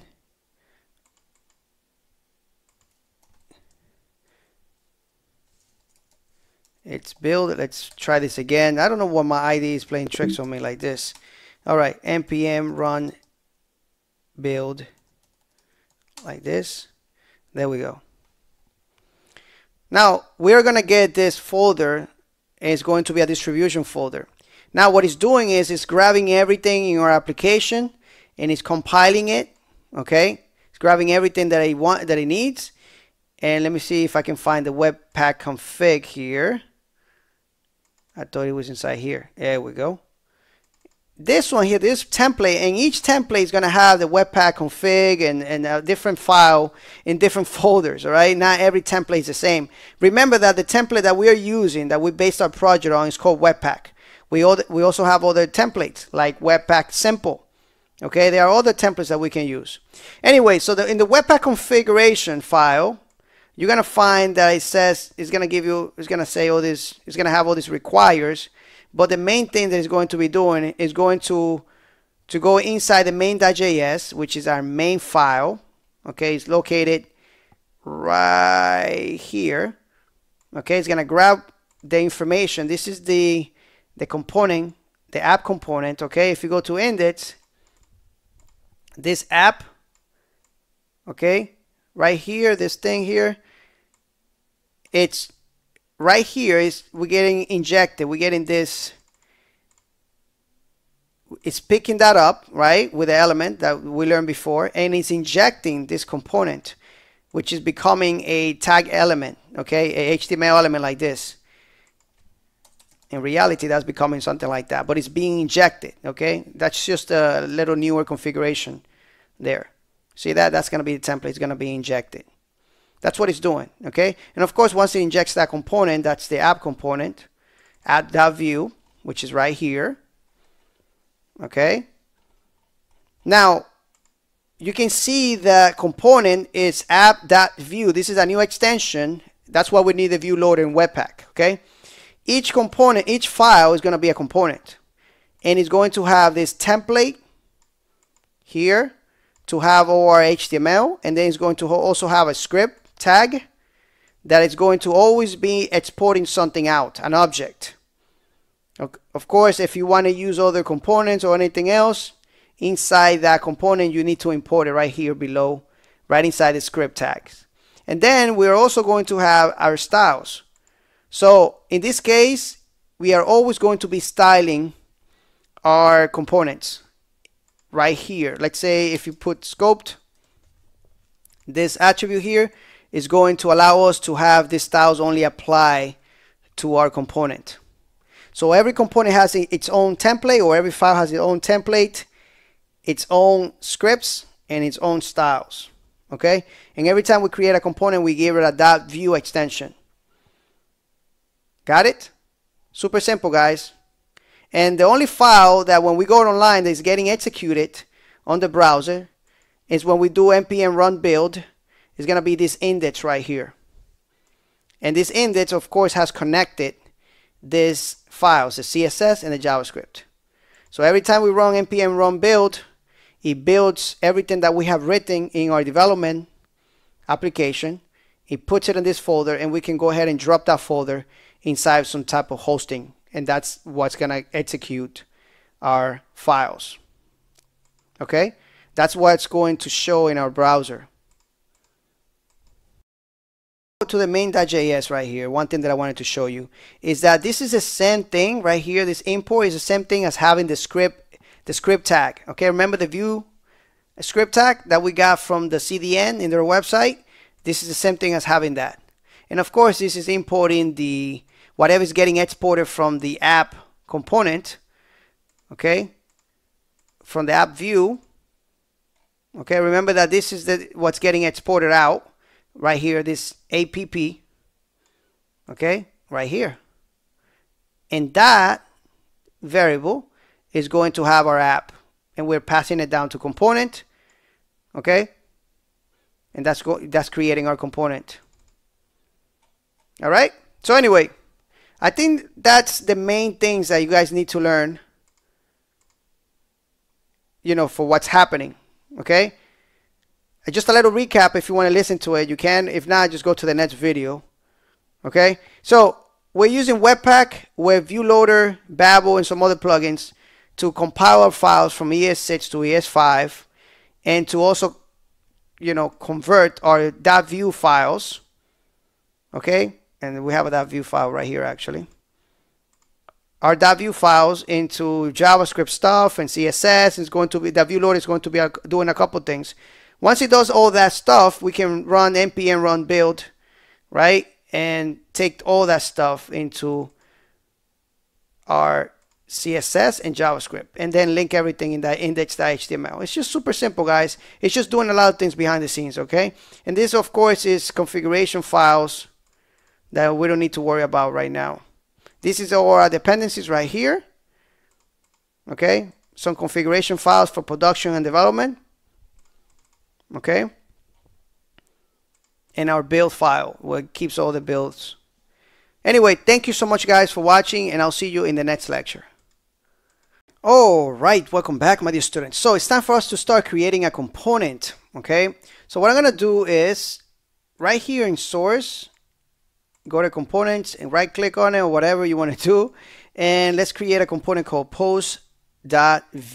Remember, this is gonna be the component. Like I mentioned before, each of them is gonna have a template and you need to write this tag. And it's going to have a script and it's also going to have some type of style like that. Okay. So the template needs to have some type of root element unless they change it in the future. Sometime I'm recording this video still does need some type of root element. And I'm just to say hello from here. I'm to write a script here. What we need to have is some type of uh, export here. Okay. So we're to say export default and in here, we can have whatever we want. We want to export data or we want to export methods, whatever we want to export, we can export it right here. So usually we export the template, but we have the template up here. So we don't need to do that no more. Now it's the data and we can export it doing something like that, right? But we're going to be using the new syntax of ES6. Going to take advantage of that to make it clean. And we're going to be returning the a function, okay? So that's the first thing. And when we return this function, well, this function is going to return an object actually, like that. Okay? So that's how it usually is. We got the template, we got the scripts, and everything we want in between, right? Well, we got the styles too.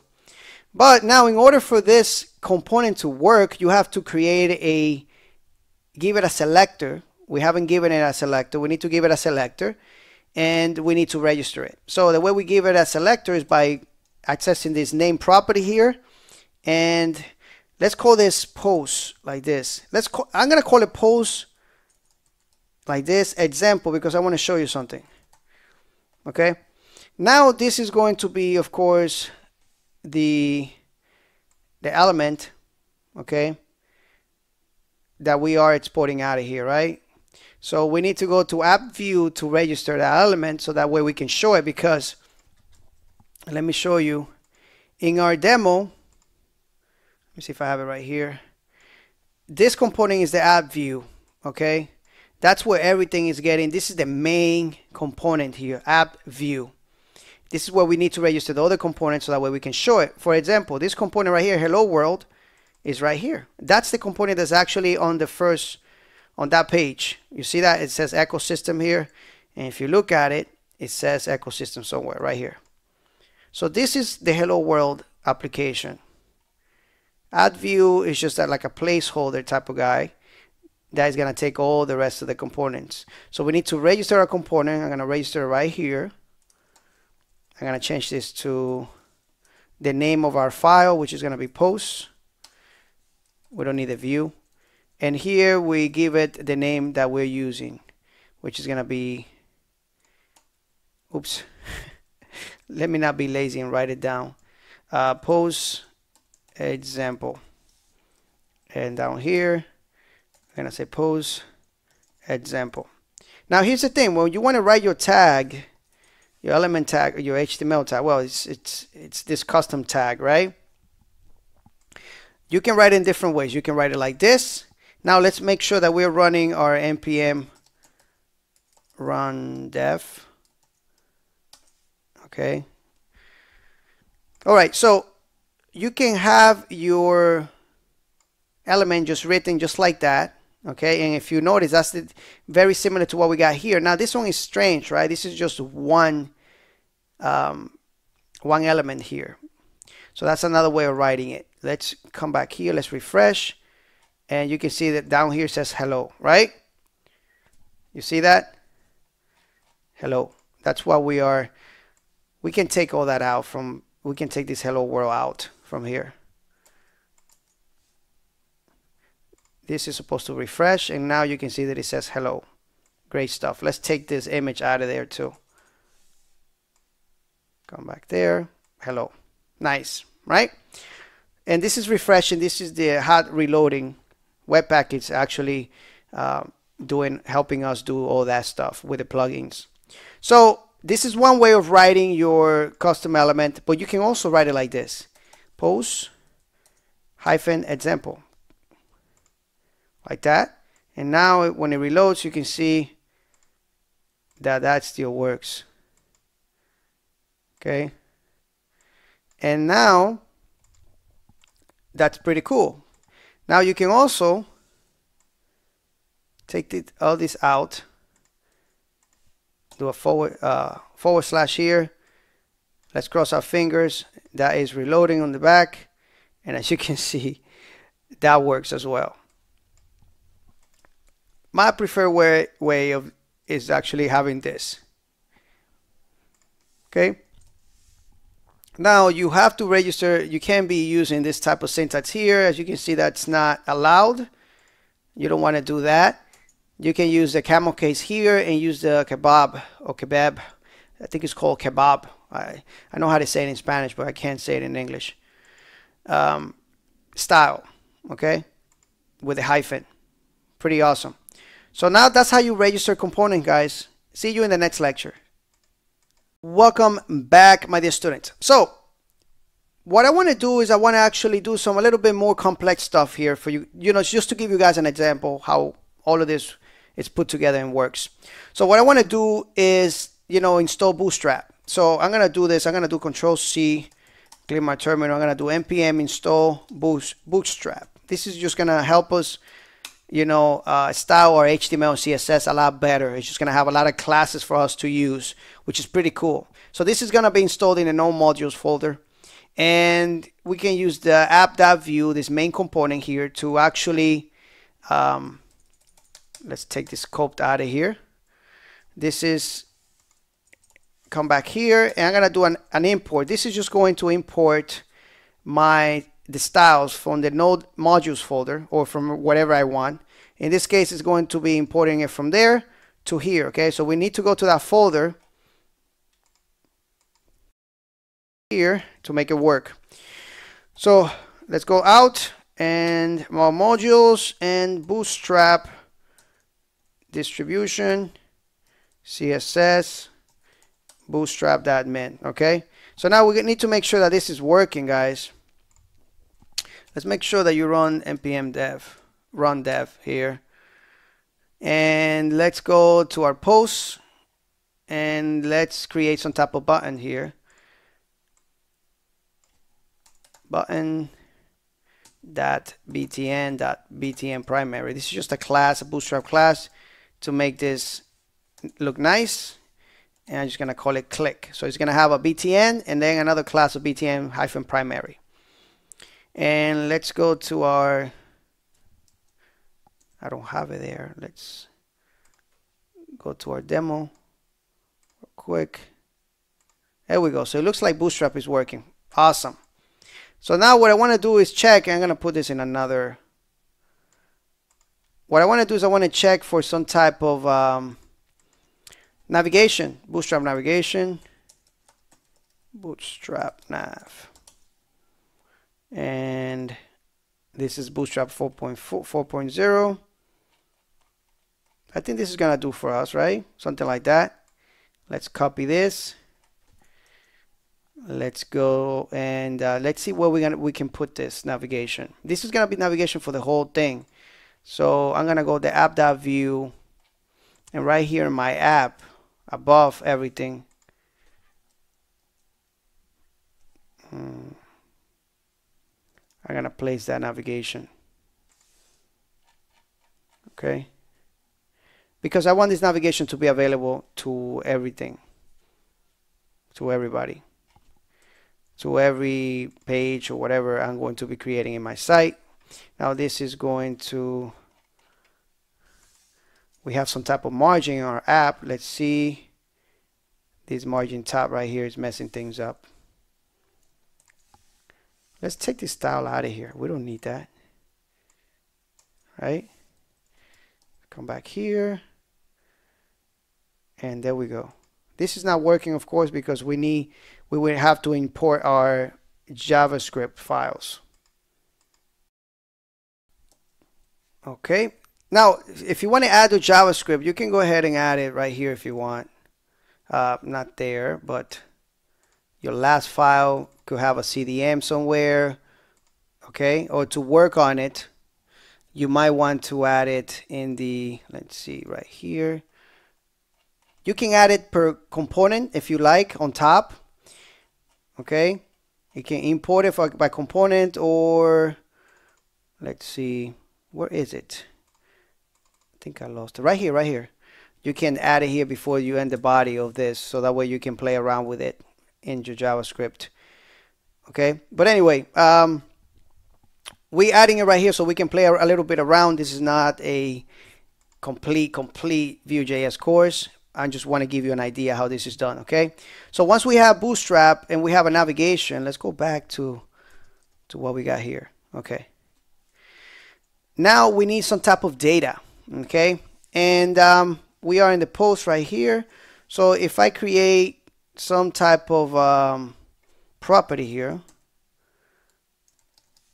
like this, okay, and we want to display it, let's... Um, come back here. ID let's just say one title post one.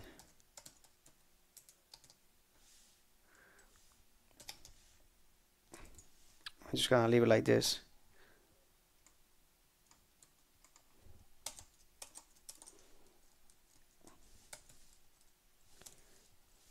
And four. Three, and four. Okay, so that's ready. And get a table or something for a bootstrap. Bootstrap table. Uh,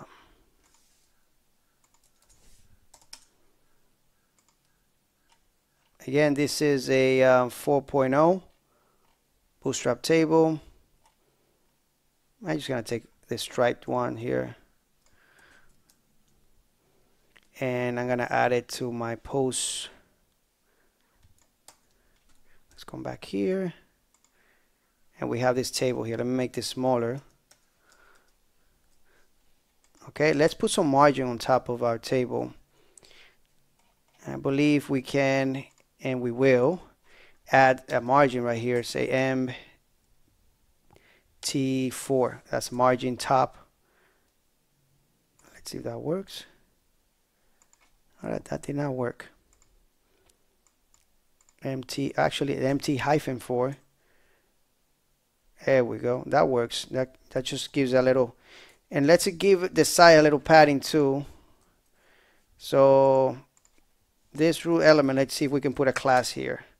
Call this container. This is all bootstrap classes. Just make things look nice. Okay? All right. So we're done creating our navigation, our table here, and we need to start displaying some data. So how can we do that? Well, we can say v-if, and let's actually take the other tables out of here, the, the other rows, table rows. Okay, and our heading is going to be an ID and title we should actually have a body, right? Let's have a body. Why not? I have a body. Do you have a body? and let's come back here and say, well, we want to display the ID. What is this? The well, let's first create the. This is gonna be post dot ID, and you're gonna see that in a minute when we create our loop.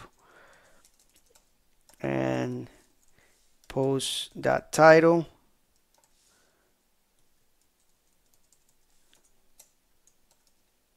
and post dot body. All right, and here we create a loop. Actually, nope, that's not where we create the loop. We create a loop right here. v-for. And we're gonna say post in post. We're gonna give this guy a the key like we done before, post.id. And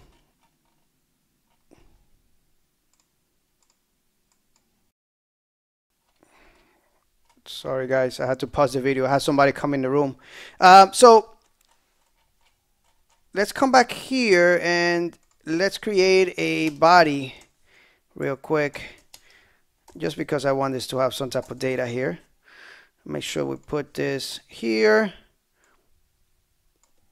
I'm just gonna put a little space there okay let's organize this a little bit space right there all right that looks good even though there's a lot of jargon there, a lot of stuff that we don't want. ID. All right, that looks good. Let's see what um, our servers have.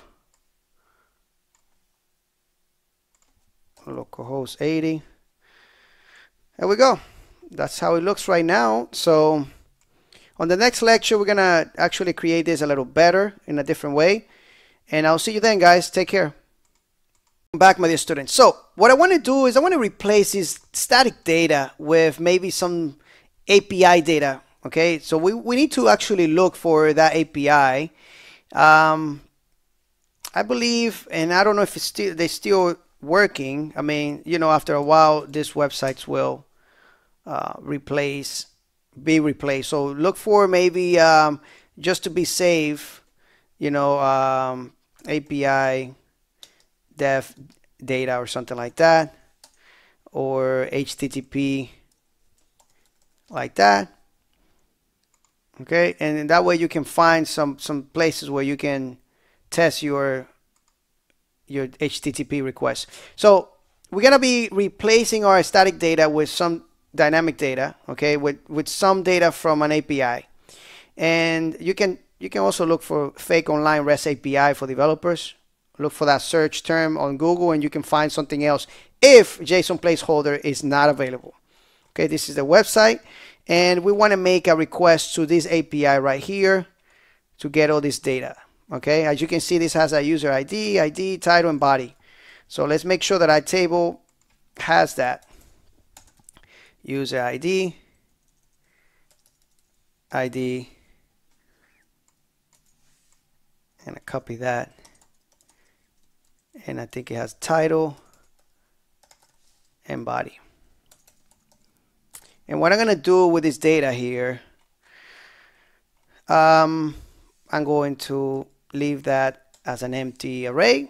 I wanted to show you how to do it statically just in case you guys are not able to connect to this API. We're going to be using a HTTP, which is going to be awesome, okay, for you guys to learn this extra stuff.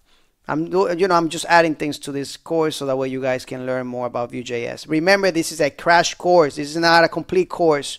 So don't, I don't want to see a review, a bad review saying that I didn't include something here and you're upset. This is a crash course. You're supposed to show you the main components of Vue.js. I think we already did that. I'm just creating extra things here for you. Okay. So be appreciative, guys. All right. So what I'm gonna do here is I'm gonna create I'm going to add a HTTP request. But before we do that, we need to download some type of package to do that because we don't have that. So I'm going to do npm. I'm going to download Axios right here, this package. Npm Okay, this is an HTTP client um, promise based, so you can use promises, which is really awesome. Okay, so npm install Axios, and it's super easy to use. Okay, let's download it. Keep in mind that my speed is like 150 megabytes per second in this office here that I'm using. My house is a thousand. So if it takes a while for you, don't worry. Or maybe you guys have a faster speed than me. So what I'm going to do in my, after my data function here, I'm going to attach um, this created, what you call it, lifecycle console.log. Remember about the life cycles of Vue.js. So Vue.js, just in case you guys, life cycle. Uh, this is a life cycle. I think this is just a, some type of forum here. But anyway, these are life cycle hooks.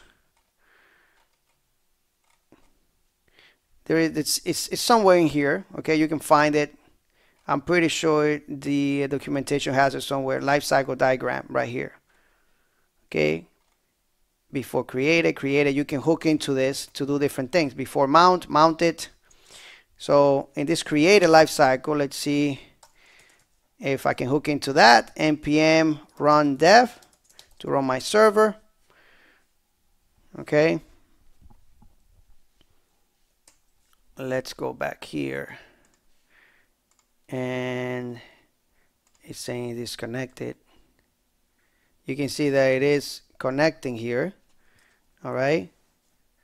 So we are connected to that life cycle and um, so once our component is created and everything is going we're gonna make a Axios. Actually we need to import Axios to make sure that it works. So right here this is gonna be a new thing for you. We're gonna import Axios from the node modules folder. Remember that when you do it like this, H uh, with no dot forward slash right here like this, you are importing from the node modules folder without the when you do dot this it means that you are importing from your local directory somewhere okay keep that in mind so we are importing Axios. Now we can use it. Let's do Axios. And uh, it's a get that we're doing because we want some data. And now we need to put the address as the first parameter. And let's get the address of that data. I'm going to get the address right there on the URL. I'm going to put some quotes here to put it in strings. Then we're going to get a promise, right? Then, and it's going to be post like this. I'm using ES6 syntax here, okay? This can also be a function. You can also do it like this, just in case you see it somewhere, okay? Or like this. I'm using ES6. We are returning just one value from there, We're just gonna do that. And then I'm going to assign this to my post array and what I want to assign is the post.data. That's the object that I want. You can also always do a console.log on what you're getting here. You can do a console.log here and see where you have to pull the data from. I know that I'm pulling the data from this data property here or, or object, I believe. Okay. That data array or I think it's an array. It's this big guy right here. But anyway, um, let's see if that's working already. Refresh. All right, it's not working because post is not defined. I misspelled this somewhere. It says po post right here. All right, now let's go ahead and there we go. Beautiful, guys. Now we're getting data from an API, which is really awesome, right? Look at that. You guys did not think that I was to show you how to do this, right, in this lecture here? in this course. Even though this is a crash course, I'm including a lot of stuff here for you guys. I want to include uh, the user ID here because we're missing that. User ID. I think, there we go. And I think is the ID and the user ID. The ID, user ID, title, and body. And it has an extra. There we go. Ah, there we go. That looks a lot better here.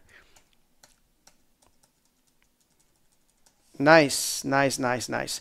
Let's work on the navigation. Let me show you how, how you guys can do that as well. We're not going to go through the all the the uh, the rest of the Vue.js stuff because it's a lot. This is a crash course, but it's a lot of other things that you guys can learn about Vue.js. I'm showing you the main components. Like I, like I said before, this is just a crash course so to get you going with Vue.js. See you in the next lecture. Welcome back, my dear students. I hope you guys are having a lot of fun. Let's continue with our lecture.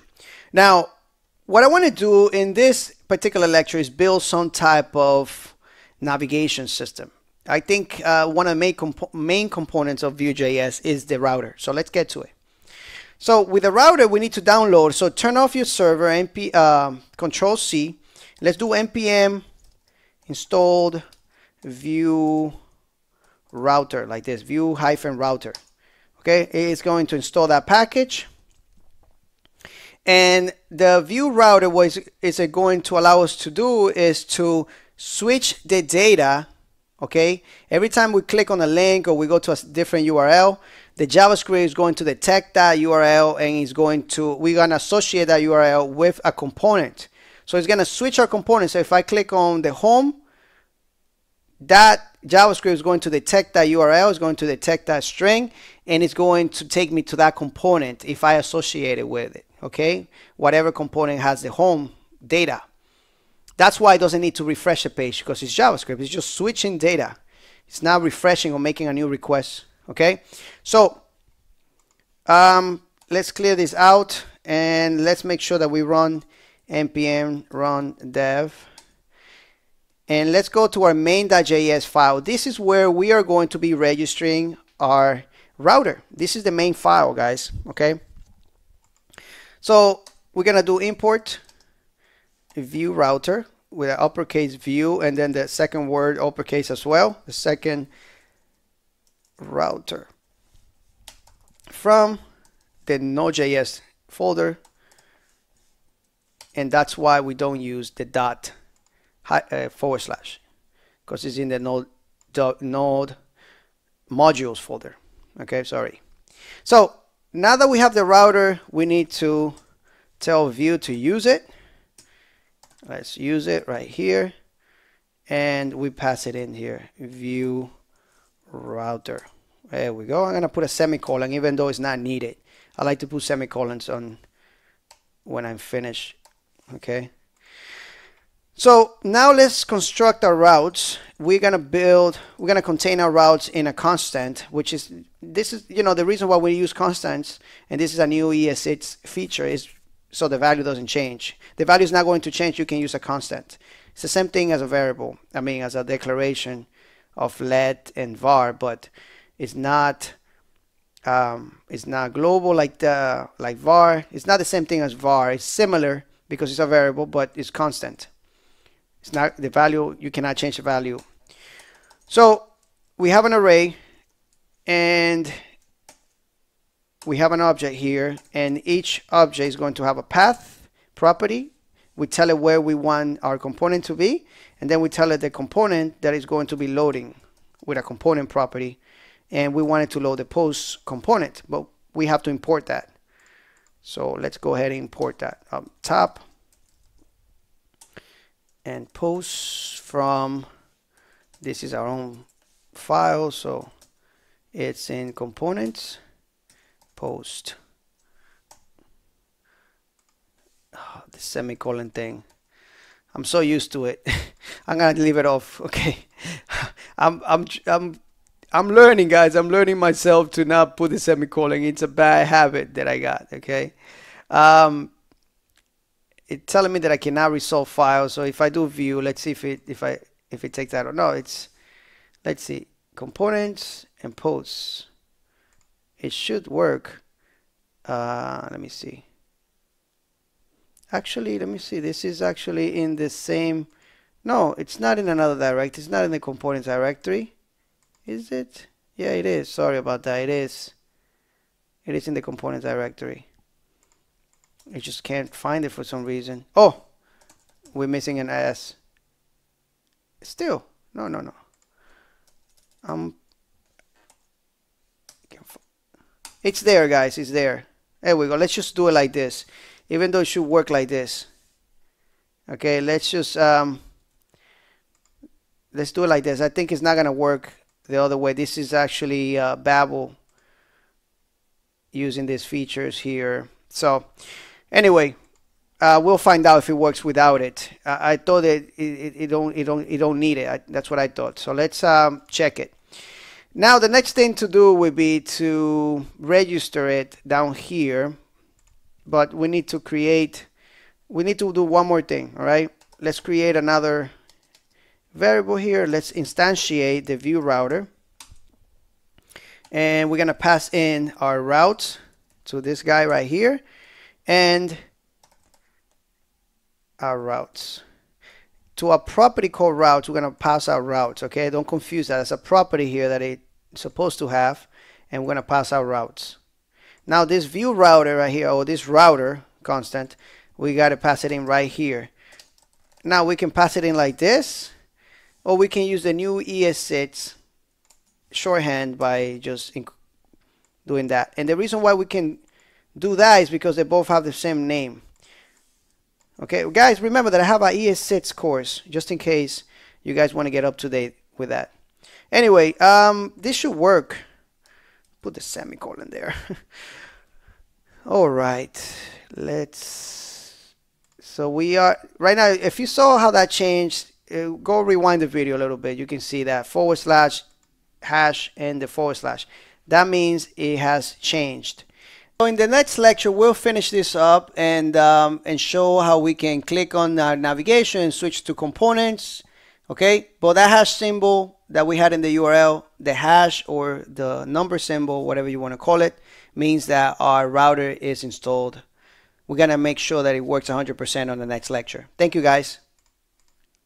Let's go ahead and um, let's take all these things out. Let's go ahead and create some type of navigation here, okay? So that way we can switch to components. But let's first create another component. That way we can switch our navigation, all right?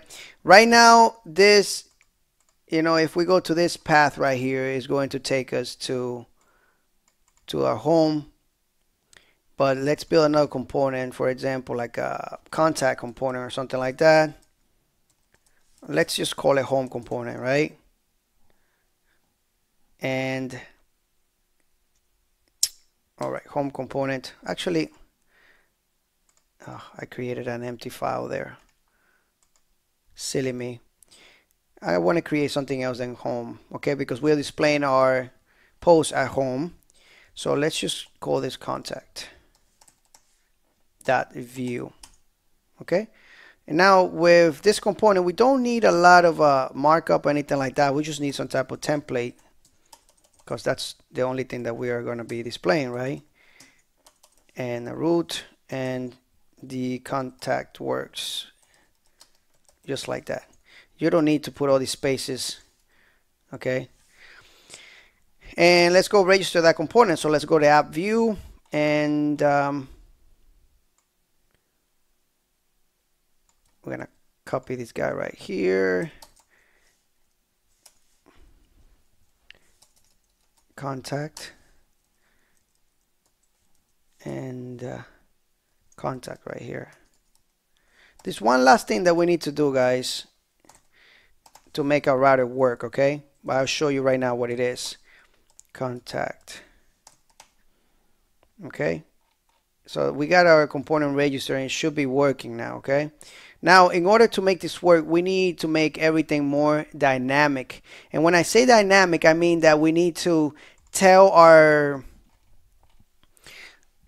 our main application, our main component that we don't want this data here to be okay? This is our main navigation. We we don't want to show just the post example here. We want to show everything okay so we want to show anybody that asks asks for a component. Anybody that goes to the URL and asks for a component, we need to make sure that this data here is dynamic. It's not just one component. And to make this data dynamic, we need to use another uh, director here or a, an HT, uh, custom tag here called view like this router view okay now our Vue app is going to detect this guy right here a router view and is going to apply things dynamically into this field right here. Okay? So um, in order for this to work let's go right here and create some type of link. Another thing that I'm going to teach you in this here this lecture it's how to create a link with a router view because right now if you go here and you say okay I want you to take me to contact. And you create a regular link and you say contact. And let's go back to our main. Let's create another route for that. And this is going to be contact. Some people when people visit contact we're gonna load the contact module now we need to import that on top. Remember in the main.js where you import where you do most of the uh, registration stuff. So we import this there and we say contact like that. Okay. So now this should work. Let's go back here. Let's make sure that this refreshes.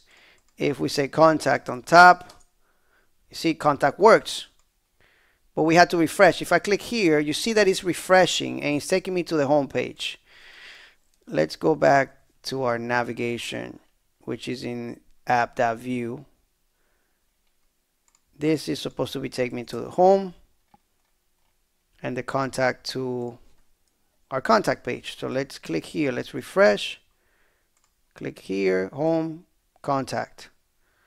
See something is going on here. So let's go and, and play around with this and tell it to actually send us to the contact component, not to the contact, uh, not to make a request to the browser. So the way we do that is we enclose all that. Actually we don't have to enclose it. We need to create another custom element here called router-link and this by itself is going to be a link an anchor tag okay? This is going to create an anchor tag. So right now if I say contact I'm gonna show you. I'm gonna take this out of here. I'll show you when this refreshes and supposed to do this automatically. There we go. This contact button supposed to be somewhere here guys. Uh-huh. Okay. It's supposed to... All right. So I guess we have to write the other parts to make it dynamic. Okay, so I'm going to give it a class of nav link.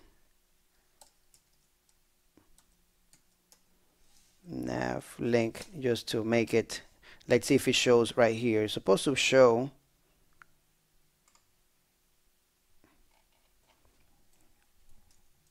okay it's not showing yet let's um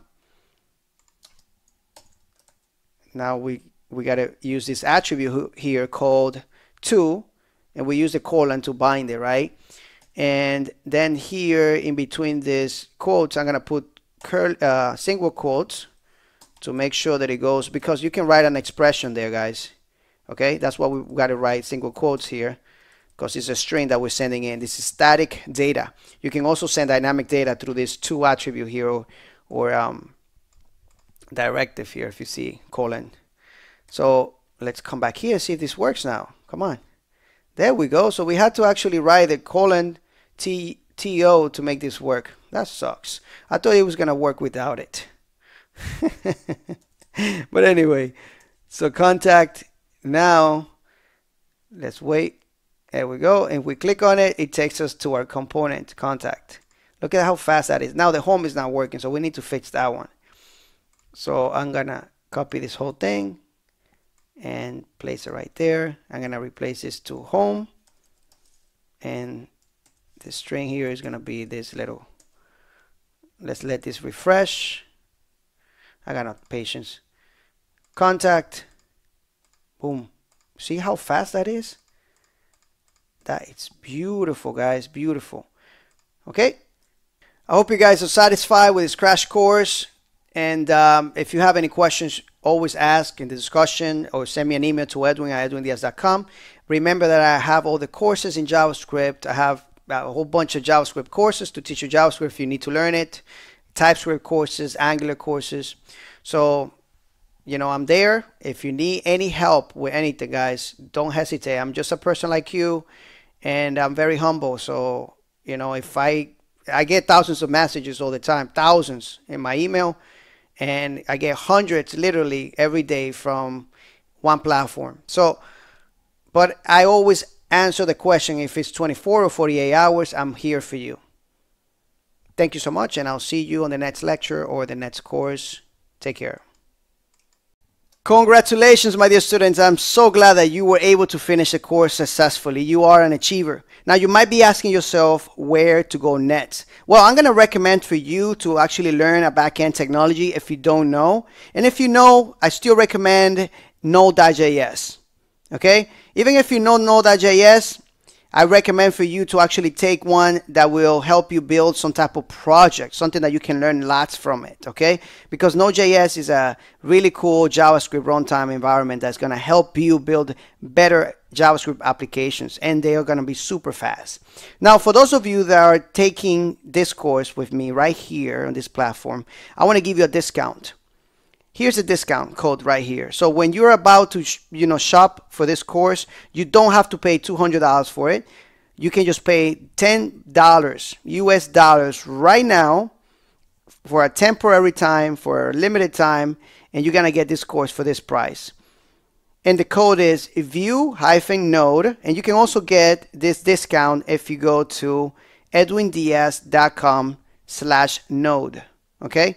Going to that link there is going to give you a discount for getting this course for $10. And you might be asking yourself, what are we going to be doing in this course? Well, the project that we got there is building a complete CMS system with a login system. We're going to do a lot of cool things in there. You're going to learn how to build a whole application using Node.js from scratch.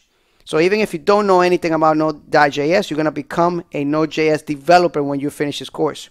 Now, lastly, I want to you know, ask you to leave a review for this course. So if this course benefited you in any way, please don't forget to leave me those five big stars. If it's not five stars, let me know before reviewing so that way I can fix it. Give me a chance. Reviews are super important, guys. They're very important for us developers. It will affect us, uh, and not only developers, instructors like me. It will affect us emotionally okay? And it will affect us financially sometimes. Lastly, and this is the last time, thank you so much for actually being here in this course, for spending the time to study with me and give me your, your time. And I really enjoy creating this course for you. May God bless you. May the universe give you all the energy you need to succeed in life. And if you have any questions, let me know and I'm here for you. Thank you so much.